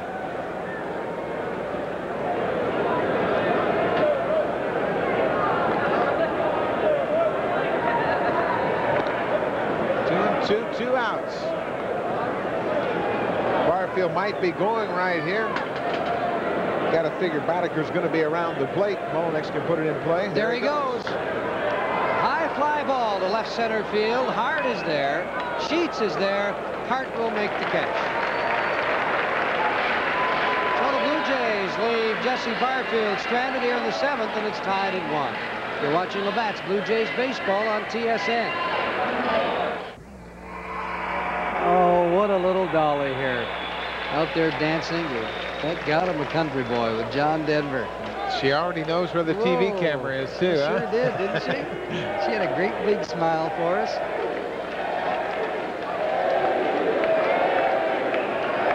Well, we go to the bottom of the seventh inning. It'll be Murray, Ripken, and Sheets to face right-hander Dave Stieb, who has allowed only two base hits through six. And the Orioles have stranded two runners. That's it. Murray, who singled in the second, was erased on a double play. And then uh, he walked Eddie Murray after Dwyer hit that home run. He left Murray stranded in the fourth. And then in the fifth, he hit Ray Knight, and he was left stranded. So Dave Stieb has been absolutely brilliant tonight through six. This man's a tough customer, Eddie Murray.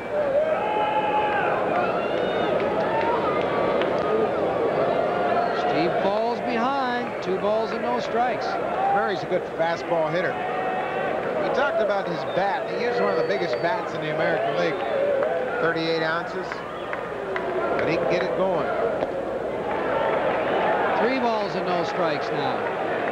As Musselman on the right and Duane Ward on the left start throwing in the Blue Jay bullpen. Musselman 11 and 4, three saves. And Ward 1 0. That's hit to left field. Bell is right there waiting for it. One down. Murray with the green light, 3 and 0. But he lines to George Bell in left field. That'll bring up Cal Ripken, the shortstop. One down, bottom of the seventh inning.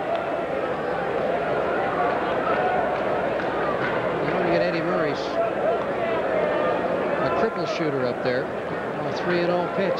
He is awfully dangerous. He made a pretty good pitch on him. Got it on the outside half of the plate. He went after that pitch for a strike. What a great slider there. Stieb started that out at the middle of the plate. Ripken thought it was a fastball. Buck, what do you think has happened wave. to Ripken this year? Do you think the fact that his father's managing this club and it's going nowhere has really played on his mind? Mulliniks will make that catch for the putout. Well, that'll bring up uh, Larry Sheets, the left fielder. Larry Sheets, it's been a disappointing year for the club, but boy, you've really put together some great numbers by getting a chance to play every day. Well, I think that was, you know, my goal at the beginning of the year was to, to try to prove that I deserved to play every day. And, um, you know, with some injuries and with the way the team was going and uh, I started swinging the bat fairly well, that opportunity came up and, you know, things have worked out pretty well. With two down, the bottom of the seventh, Sheets will face Dave Stieb. Getting back to Ripken, what do you think? I don't think it's really uh, bothering him that his father's managing. He's got 24 homers and 90 RBIs. Those are pretty good numbers in anybody's book. He's down to 255. I think it's time for him to take a rest. He's played so many games in a row. There's the score in the middle of five in Boston, 6-1. Red Sox over the Tigers. But I think Ripken needs to take some time off now.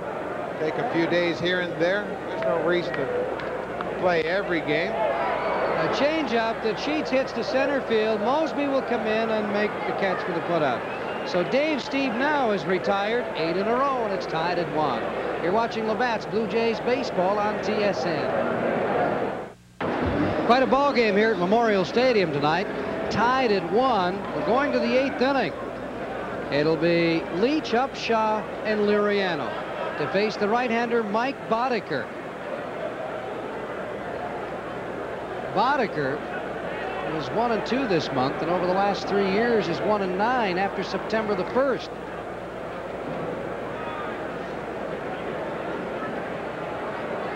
He's had some tough luck this year, too. Five times he's left a game with a chance for a win, only to have the bullpen blow the lead. Mark Williamson, the right-hander out there. Williamson with a record of eight wins, nine losses, and he's got three saves. Leach fouls that one back out of play.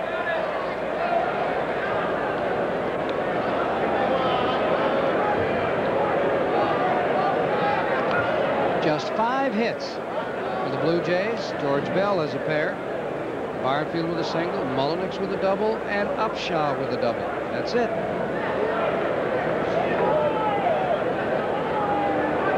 And it was Leach who got the RBI as drove in Toronto's only run.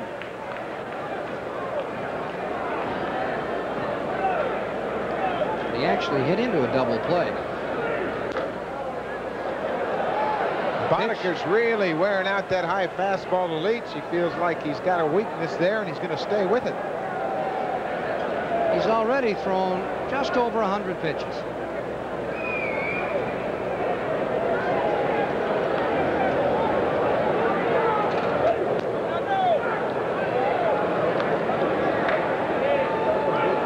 Boddicker's a battler, no question about it.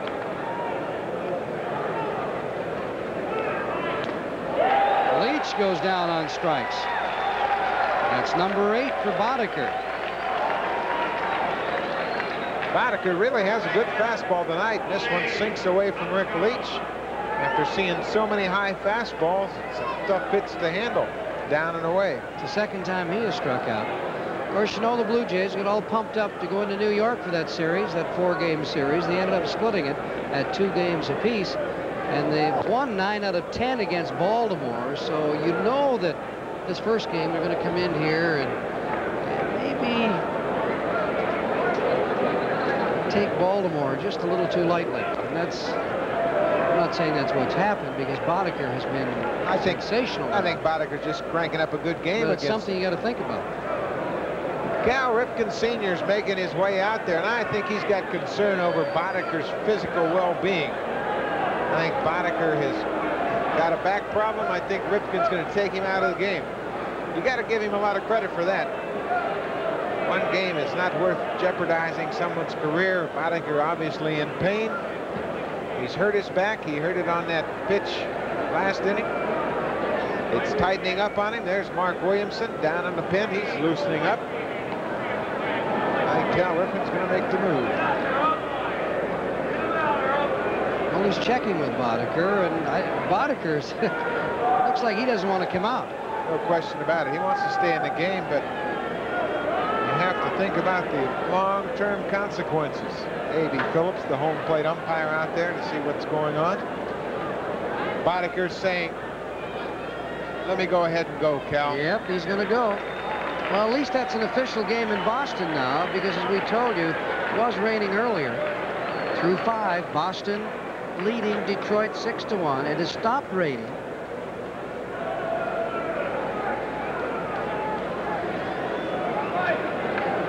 Willie Upshaw will step in to face Boddicker. He's one for two. Struck out on the fifth. Got around on that one. Just a little too far, though.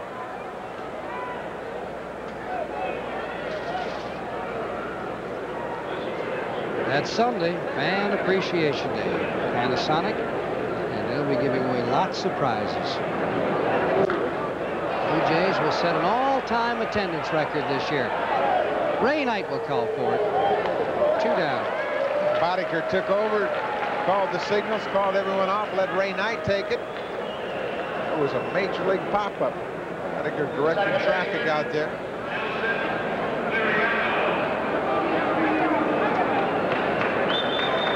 Nelson Liriano, who is 0 for 3, but Mike Hart made a great catch back in the third inning. Took a base hit away from Liriano. He has hit safely in 19 of the 24 games that he has played in since he was called up from Syracuse. Liriano, the fact that he was called up a day early, will be eligible for the playoffs. Well, that caught umpire and catcher both. Caught Davy Phillips right on the finger, so that right hand went off Kennedy's mask. Upshaw turns around the bunt, hits Kennedy's mask, and you can see Phillips' fingers outstretched right on the ends of those fingers. We talked about that the other day, umpires try to hide those hands.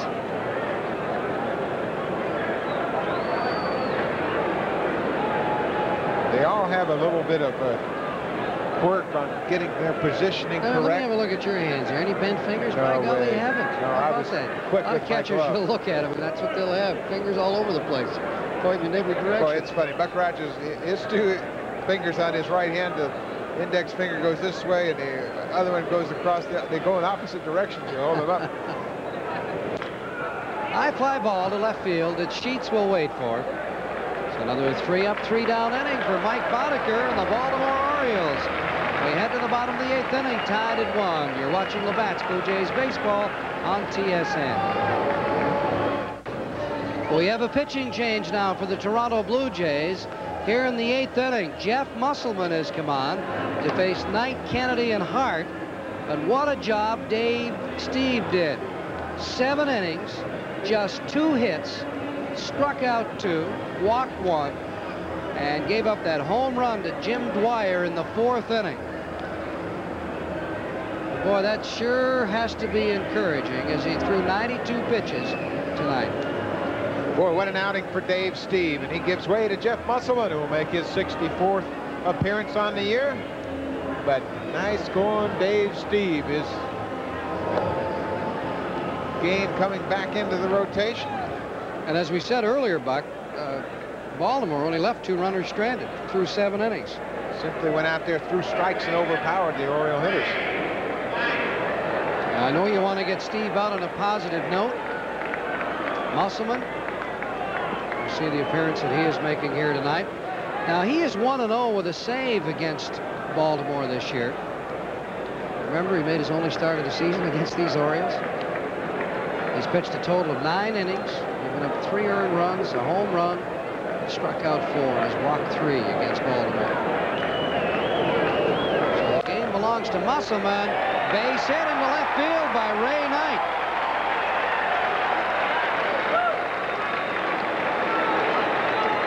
And now you've got the catcher, Terry Kennedy, up. Left-hander. I'm sure he'll be bunting. Ray Knight makes the first offering from Jeff Musselman and beats it into the ground, but it's by Fernandez into left field. Lead off single here in the bottom of the eighth. Be a pinch runner for Knight. Question you have to ask immediately, was it Jimmy Williams who took out Stieb? Did Stieb want to come out? Did they want to get Stieb out on a positive note? No, I think that they felt that they had enough arms down in the bullpen. Stieb had given him seven strong innings. And they were going to make a move. There you look at the skipper. Crossing out Ray Knight, putting in Ray Gonzalez. Pinch runner. So Gonzalez down there at first. Kennedy will square to bunt. And Musselman tries to pick off Gonzalez.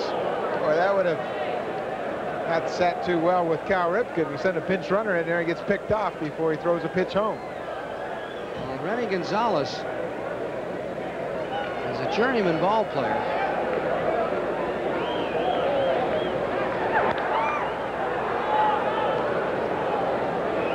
By throwing to first base, that really helps out the infielders. Kennedy gives his hand away. He turned around, showing bunt. Mulliniks can charge hard down the third baseline. They took it off, switched off on him.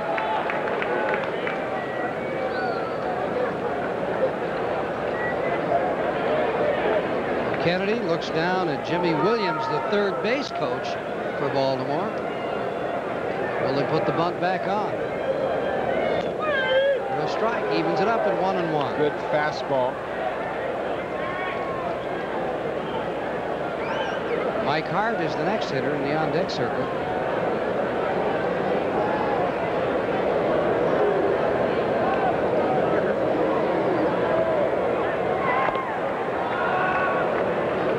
Musselman has learned his move from Jimmy Key.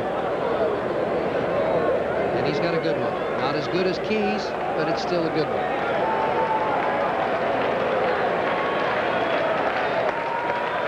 Gonzalez gets a pretty good lead over there. Oh, and he slips. But he kept that foot on the bag, and he might have twisted an ankle. Sure looked like he twisted his ankle as he stepped on top of the bag and his ankle gave way. He's out testing it out. Now watch as he gets right back on the bag. He'll slip right on top of the bag. Look at that, turned way over. Who did we see? Was that Moseby that did that the other day in one of our telecasts? Slipped and fell down.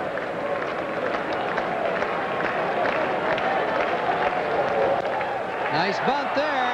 Upshaw will have one play. Kennedy gets the job done. So Gonzalez moves on down to second. And that'll bring up Mike Hart, the center fielder. He's 0 for 2. That's Kennedy's first sacrifice bunt of the year, and it's a dandy. Upshaw charge again. Looks to second base. No play there, and he has to go to first, but Kennedy gets the job done here in the eighth.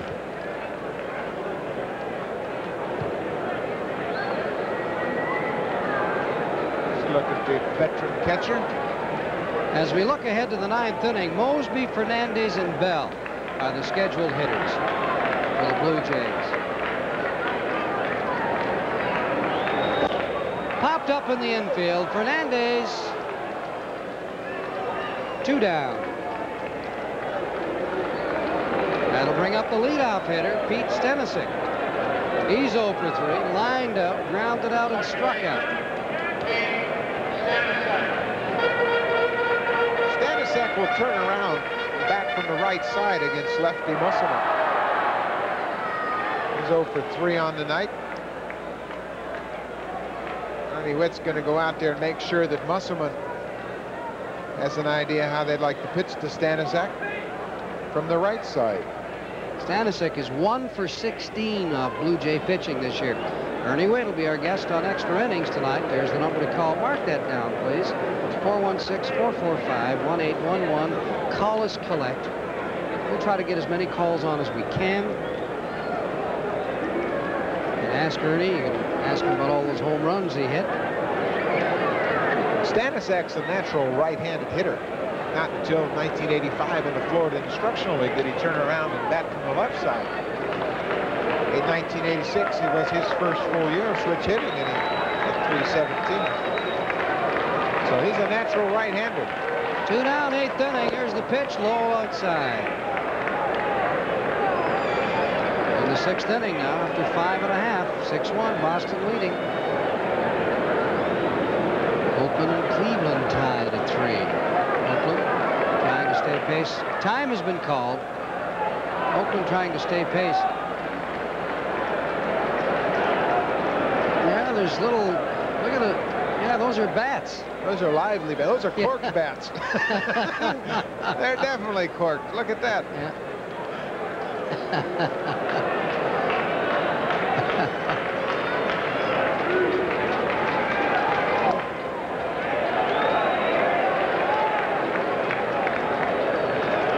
Gonzalez on at second base with two outs. Has very good speed. Musselman behind in the count, two balls and no strikes. Jimmy Dwyer, who hit that home run in the fourth inning, is the scheduled hitter. And they are going to walk Stanicek and pitch to the left-handed hitting Dwyer. I think they're going to be seeing Lee Lacy come off the bench. And here he comes. Jimmy Williams opting to walk Stanicek. There's a base open with two outs. And Lee Lacy's the batter. He's going to hit for Jim Dwyer.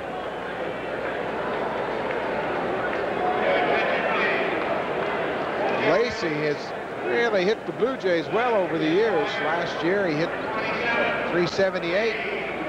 There's Jimmy Williams. He's got Duane Ward down in the bullpen. Ward's been up and throwing for an inning. Lacy's a 15-year veteran, and he's a pretty decent hitter. There's the call for Duane Ward. Williams wants this matchup, Ward against Lacy. Maybe hoping that Cal Ripken will make the move and counter with a left-handed hitter of his own. He's got Mike Young over on the bench. Alan Wiggins. You manage, you got to be three or four moves ahead at least. No doubt about that. Mike Young. So now Lacy walks back to the dugout. Here they are, the two. Oh, there's a bat that dropped down beside Jimmy Williams, the third base coach, and uh, uh, he did a little dance to get away from that. There's a few of those things flying around here. There are two Jimmy Williams.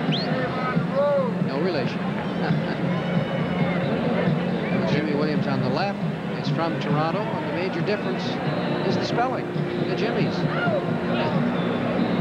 Williams is the same. Jimmy's different. Jimmy said that he's played that as a joke in school. He stuck with it. Took one of the M's out of his name.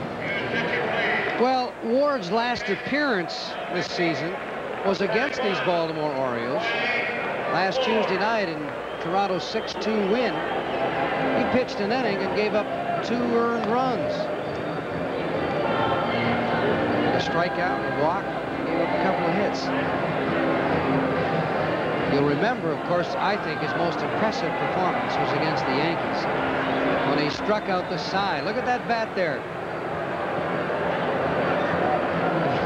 It's going like a bat out of you know where. Look at him. Right out of the stadium. Now the grounds crew out. What are they going to do? They're on bat patrol. That's right. Get the guns out. Oh. Ah, Whoa. hey. They're mating. I, that's what's probably happening. One.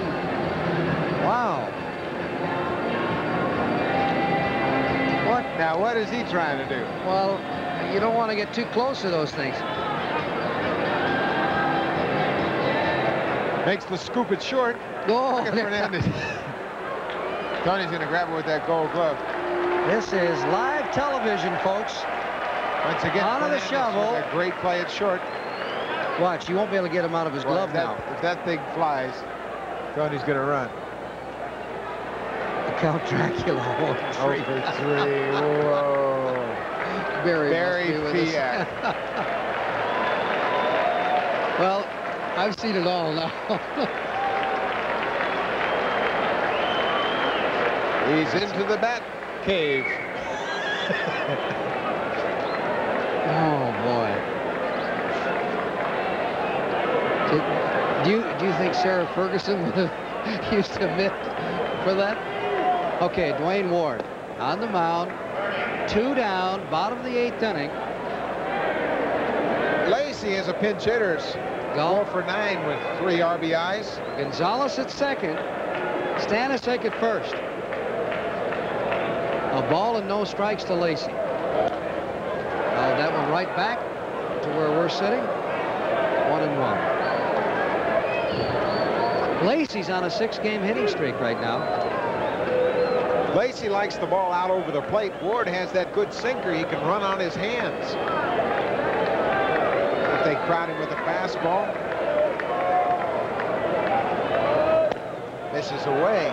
Just misses. You see, Lacy hits out of a closed stance, likes the ball out over the plate. He'll hit the ball on the right side of the field nine times out of ten. Moseby reflects that. He's into right center. Barfield's over towards the line in right. Liriano straight away at second.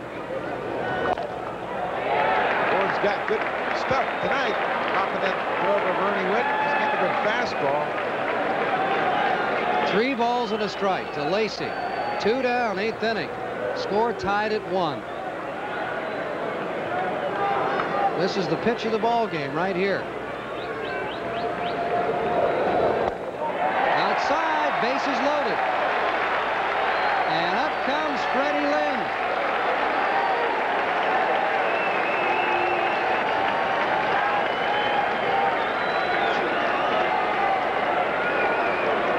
Down and away. Ward just really didn't have command of that fastball. He had good stuff, and Jimmy Williams is going to go out and make a move to bring in left-hander John Cerutti, I believe. That's who's warming up in the bullpen. He's got Cerutti down there. He's ready. Of course, you'll remember that Cerutti's last outing was in New York when he didn't retire a batter. Walked Rickey Henderson, gave up a single to Willie Randolph, and a two-run homer to Don Mattingly. That was last Friday night. Cerutti against Baltimore is 1-0 in a couple of games this year. He's given up five earned runs in 12 and two-thirds innings. A couple of homers, six walks, and a struck out five. So not an impressive performance against Baltimore, but the game will be on the line. And Freddie Lynn has really been the clutch hitter for Baltimore this season. Wade Boggs is at the plate in Boston. Here's the 2-1 pitch with two on, and Boggs a double into the right field corner. So that should score two runs. Ellis Burks around to score. Pat Sheridan picks the ball up down in the corner. Whitaker relays over to third. Boggs is out at third, but two runs come in to score. It is 8 to 1. On the Tigers. Taking a little bit of their frustration out. For Well, the the Tigers 87 might be thinking ahead to Toronto, too.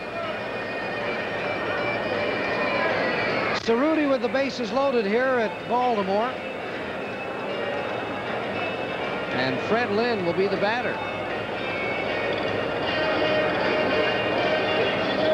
This will be Cerutti's 19th relief appearance. There's 10 and 4 record. 4.33 ERA. His 30, his 40th appearance overall. John's worked in 145 and a third innings. He's facing a tough hitter in Fred Lynn. With the bases loaded, two outs.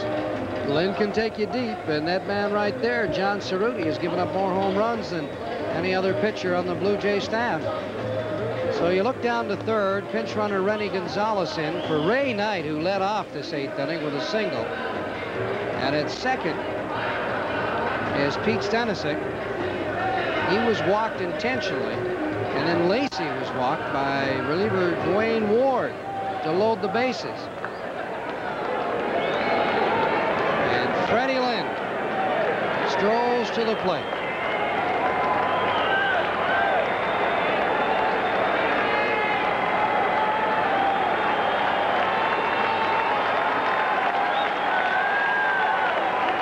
Twenty-two home runs, 57 RBIs, and he has missed 41 games this season. Six career grand slams to this season. Freddie Lynn is tough against the left-hander. He likes the ball out over the plate. He'll try to drive the ball up the middle. And Cerutti must throw strikes. Well, it's 8-1 in Boston after six complete innings. It is tied here at one in the bottom of the eighth with the bases loaded. Chop down the first base side, foul.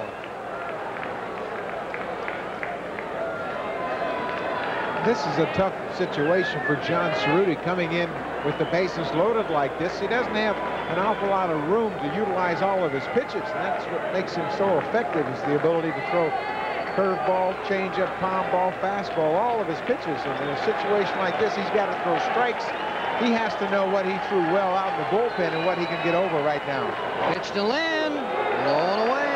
Two balls and a strike. That's a good pitch from Cerutti. He dropped that curveball on the outside, just missing away. Shows me he's got confidence in all his pitches, and he's warmed up well. He can use everything in his repertoire.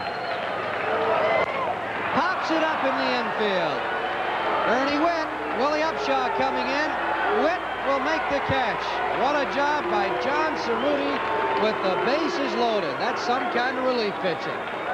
John Cerutti came in and made a fine pitch on Fred Lynn to strand three Oriole runners. So at the end of eight, still tied here in Baltimore. You're watching Labatt's Blue Jays baseball on TSN. Now let's go to TSN Control for this update. Tied at one, we go to the ninth inning, and Baltimore manager Cal Ripken is out there on the mound talking with Mike Boddicker. Kennedy is out there. And what Ripken wants Boddicker to do is to take a couple of pitches and see if he's okay. He has sat on the bench for a while. He's had some back problems. We've just been informed the Detroit Tigers have picked up right-hander Dickie Noles from the Chicago Cubs for a player to be named later. So they're trying to get some pitching help for the Toronto series. You faced Noles before, Buck. What do you think?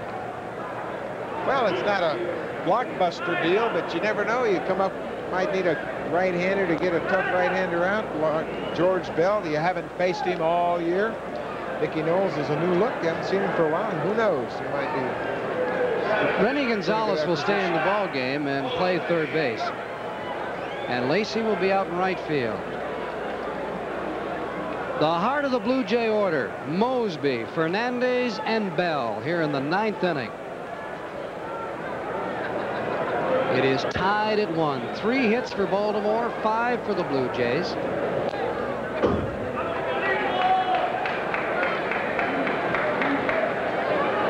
One thing about Boddicker, he's not begging off, is he?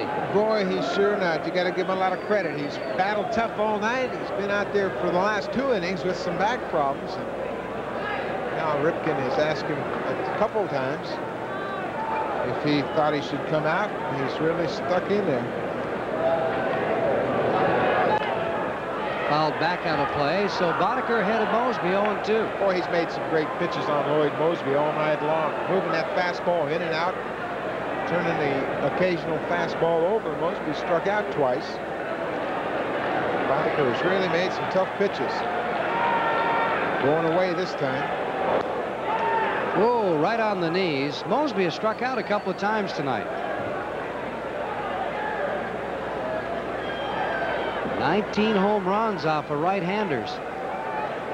He'd love to make it number 20 here.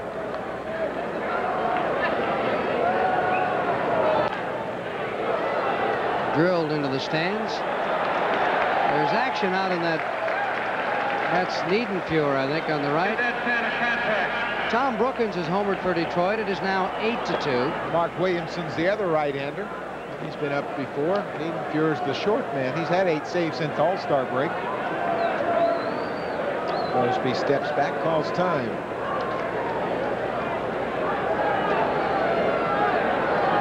One-two pitch, changeup.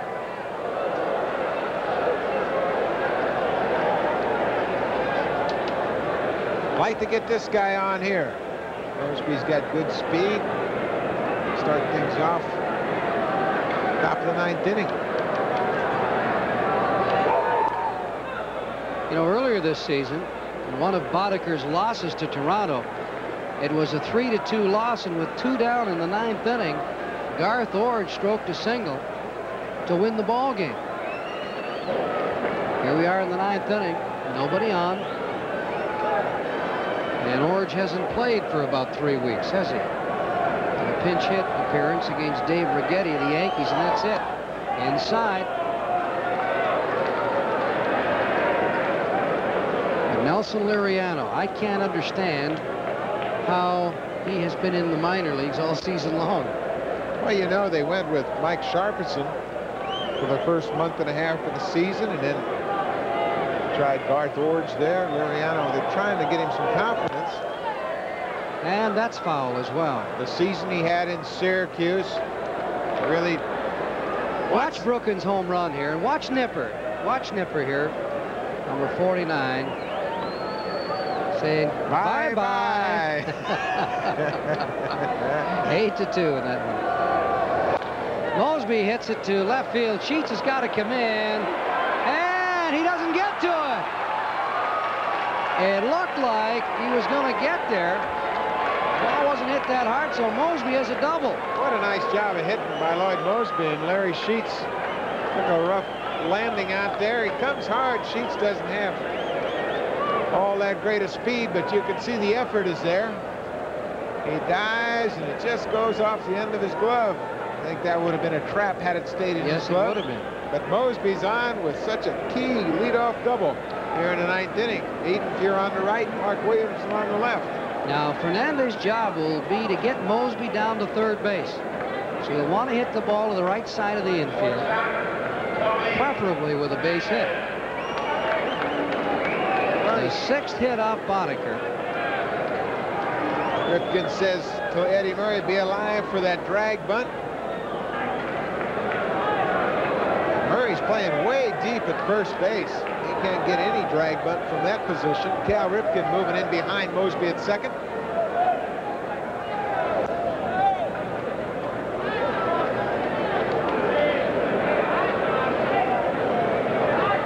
Fernandez can play a little bit with this bat. He's a master with that bat choked up. He can slap the ball, pull it on the right side. They're in the bottom of the seventh now. Boston up. It's 8 to 2 there. He lays a beautiful bunt down to Gonzalez, who fires it to Murray. So Fernandez gets the job done. Moseby's at third with what could be the game-winning run. And the batter, the RBI leader in the American League, George Bell, with 128. I think you're going to see him walked. You could count on that. Put Bell on, try to set up the double play. Cal Ripken's going to go out, talk things over right here. Fans are hollering, no, no, don't take him out, Cal. Believe me, Cal doesn't want to take him out. He's just talking about, he's talking to Davy Phillips to make sure that they understand one another about could be a trip for an injury. Well, the first visit, I think, was the trip for the injury. That's what he was saying. He Yeah. said, I want you to know I'm not Yeah. trying to buy this injury stuff anymore. We're out here talking baseball now. Ask him his preference, I'm sure. What do you want to do? You want to pitch the bell? Or you want to put him on? There's a look at the numbers. 128. So after Bell, you've got Ernie Whitt and Jesse Barfield. One down. Bell already has two hits. Chances are they're going to walk. Now Terry Kennedy's got something in his eye. Trainer out to get it out. Looks to me like they're going to pitch to him, just checking out the infield. They've got the infield drawn in. Ripken's in at grass at short. Second. Eddie Murray at first. Well, I would suggest it's a mistake if they do. I have to agree with you. All Bell needs is a sacrifice fly. As you can see, he's already got two hits tonight.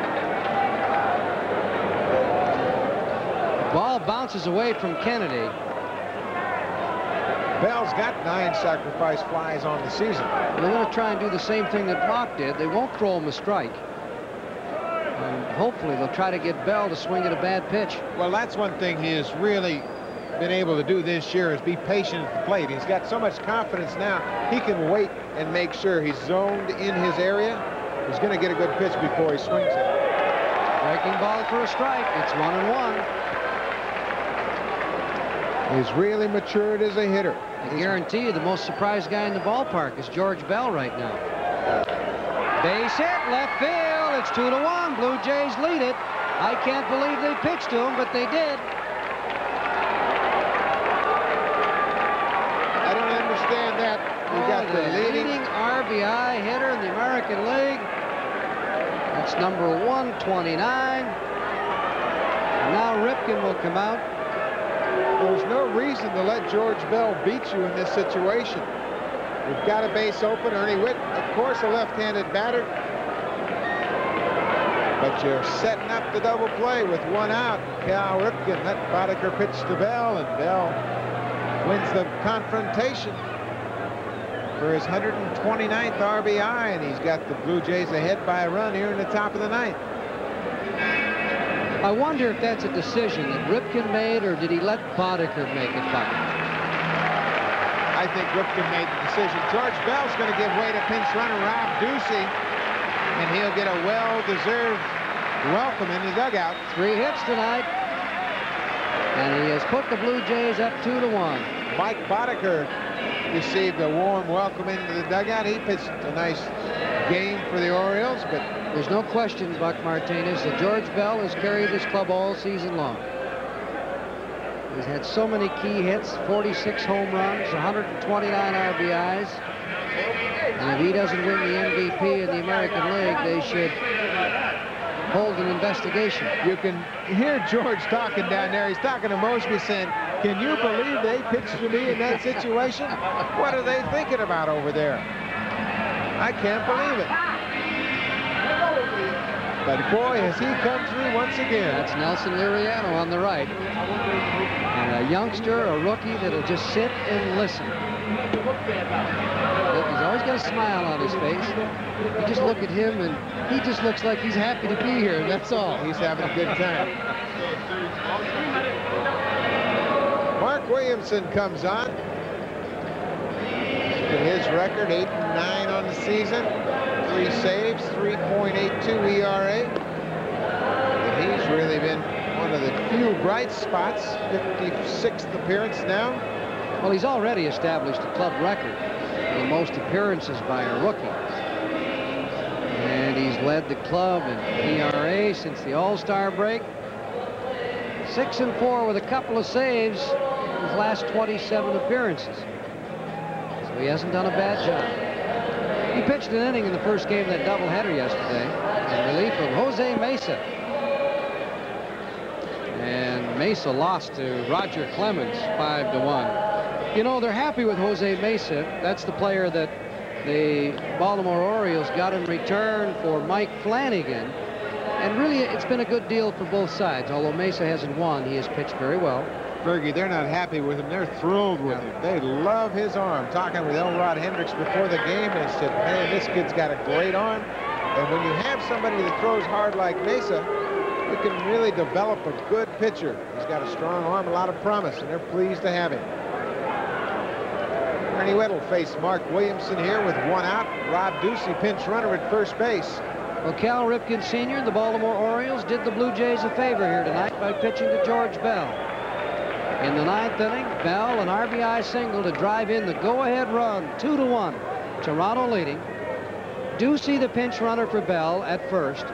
The batter is Ernie Whitt. He is 0 for 3 tonight. Pitches inside. Williamson came over with Terry Kennedy in that Storm Davis deal with San Diego.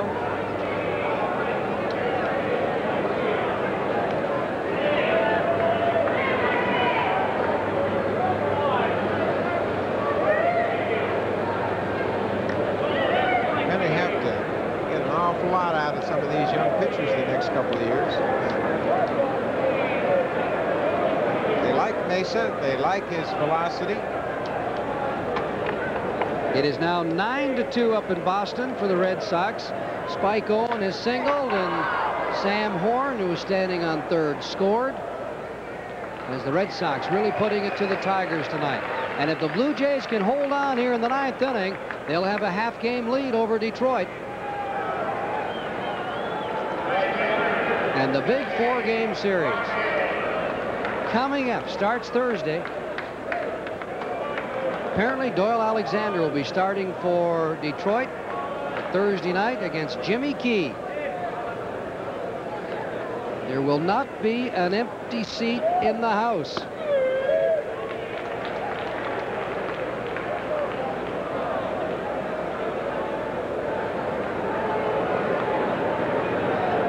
Barfield, the batter.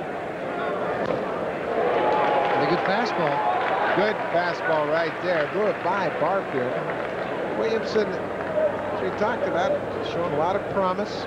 He's going to get a chance to pitch over here in Baltimore, no question about that. They've got a lot of holes to fill in that pitching staff. For promising young arms, it's going to take them a while to rebuild this club, but that's what they have on their mind. Pitch out, nothing doing. Right now, John Cerutti stands to pick up the victory here tonight. If the Blue Jays can hold on, he's 10 and 4 coming into tonight's game. A 1-2 pitch to Barfield. He's jammed and fouls it back. Wow, that would have hit him right in the belly button if he hadn't just it off. Williamson really ran. Look at Jesse saying, wow. He really ran that sinker ball inside as he just doing his best to fight it off. Don't forget, Buck and I will be here tomorrow night at 7.30. Blue Jays and Orioles, game two of this series. Along with our producer, Tom McKee, director Michael Lansbury.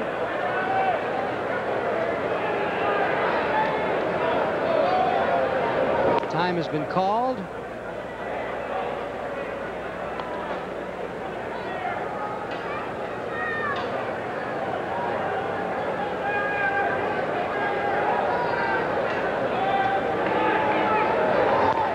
Outside, evens it up with two balls and two strikes.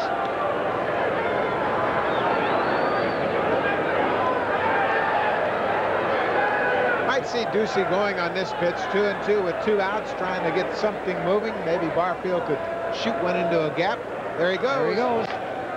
Off the handle down to Ripken, and he'll fire it across as Barfield broke his back. But we're heading to the bottom of the ninth. And the three toughest hitters in the Orioles lineup coming up.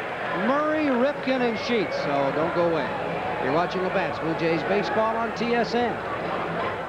A two to one ball game, bottom of the ninth inning here in Baltimore. As the Terminator, Tom Henke, has come on to pitch for the Blue Jays. He'll face Murray, Ripken, and Sheets, the heart of that Baltimore lineup. Henke with three career saves against Baltimore. And this year, he's got one save in five appearances. Five in the third inning, seven hits, and he has struck out seven. Henke did a nice job yesterday at Yankee Stadium to clinch that 6-2 victory. He did not get a save for it. Gruber has come in to play third base. And Rob Ducey, who came in to pinch run for George Bell, will stay out and play left field. So Eddie Murray, who is one for two tonight, a single in the second inning to stretch his hitting streak now to 14 games, will face Henke.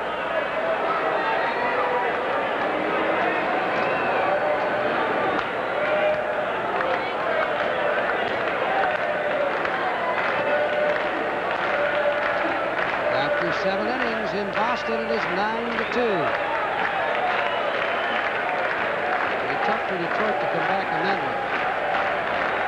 Henke with 32 saves.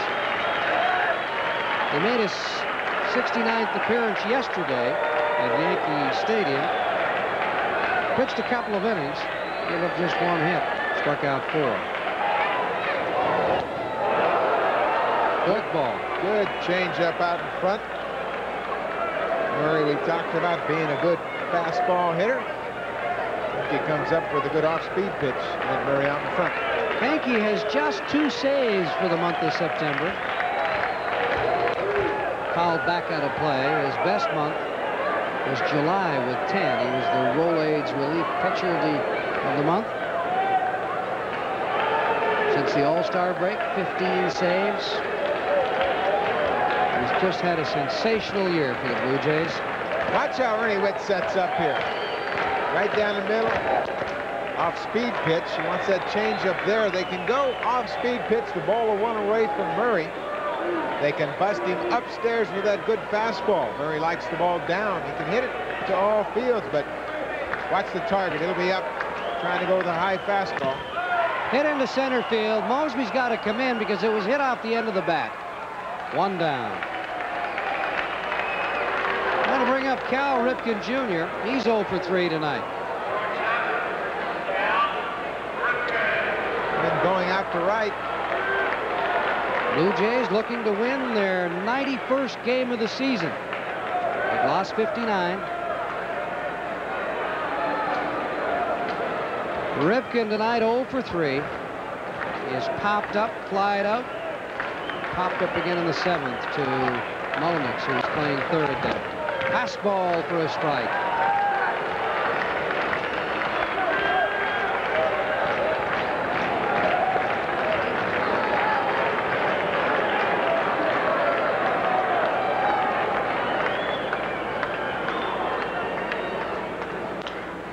Line to right field, not that deep. Barfield will come in. He broke back and then had to come over to make the catch. Two down. Off the bat, looked like it was going to travel farther. That wind has really whipped up all of a sudden. It's blowing from the left field corner to right field. Might have helped this ball a little Yeah. bit. And had he got a little higher, who knows what he would have done with it. But Barfield comes in and makes the second out of the inning. And the right field corner. There's a look at that flag. It's blowing in from left field across to the right field It's corner. the perfect setup for Sheets. Fastball that's down. Murray with 29 home runs, Ripken with 24, and Sheets with 29. Two down. And with the wind blowing out to right, you got to be careful. Two balls and no strikes. Well, Henke's taken on their best. Larry Sheets trying to keep the Oriole hopes alive here in the ninth.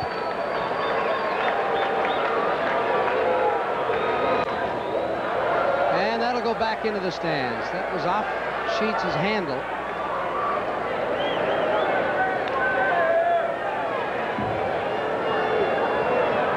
As he's checking it out, seeing if it's still together. Two balls and a strike on Larry Sheets. Two outs.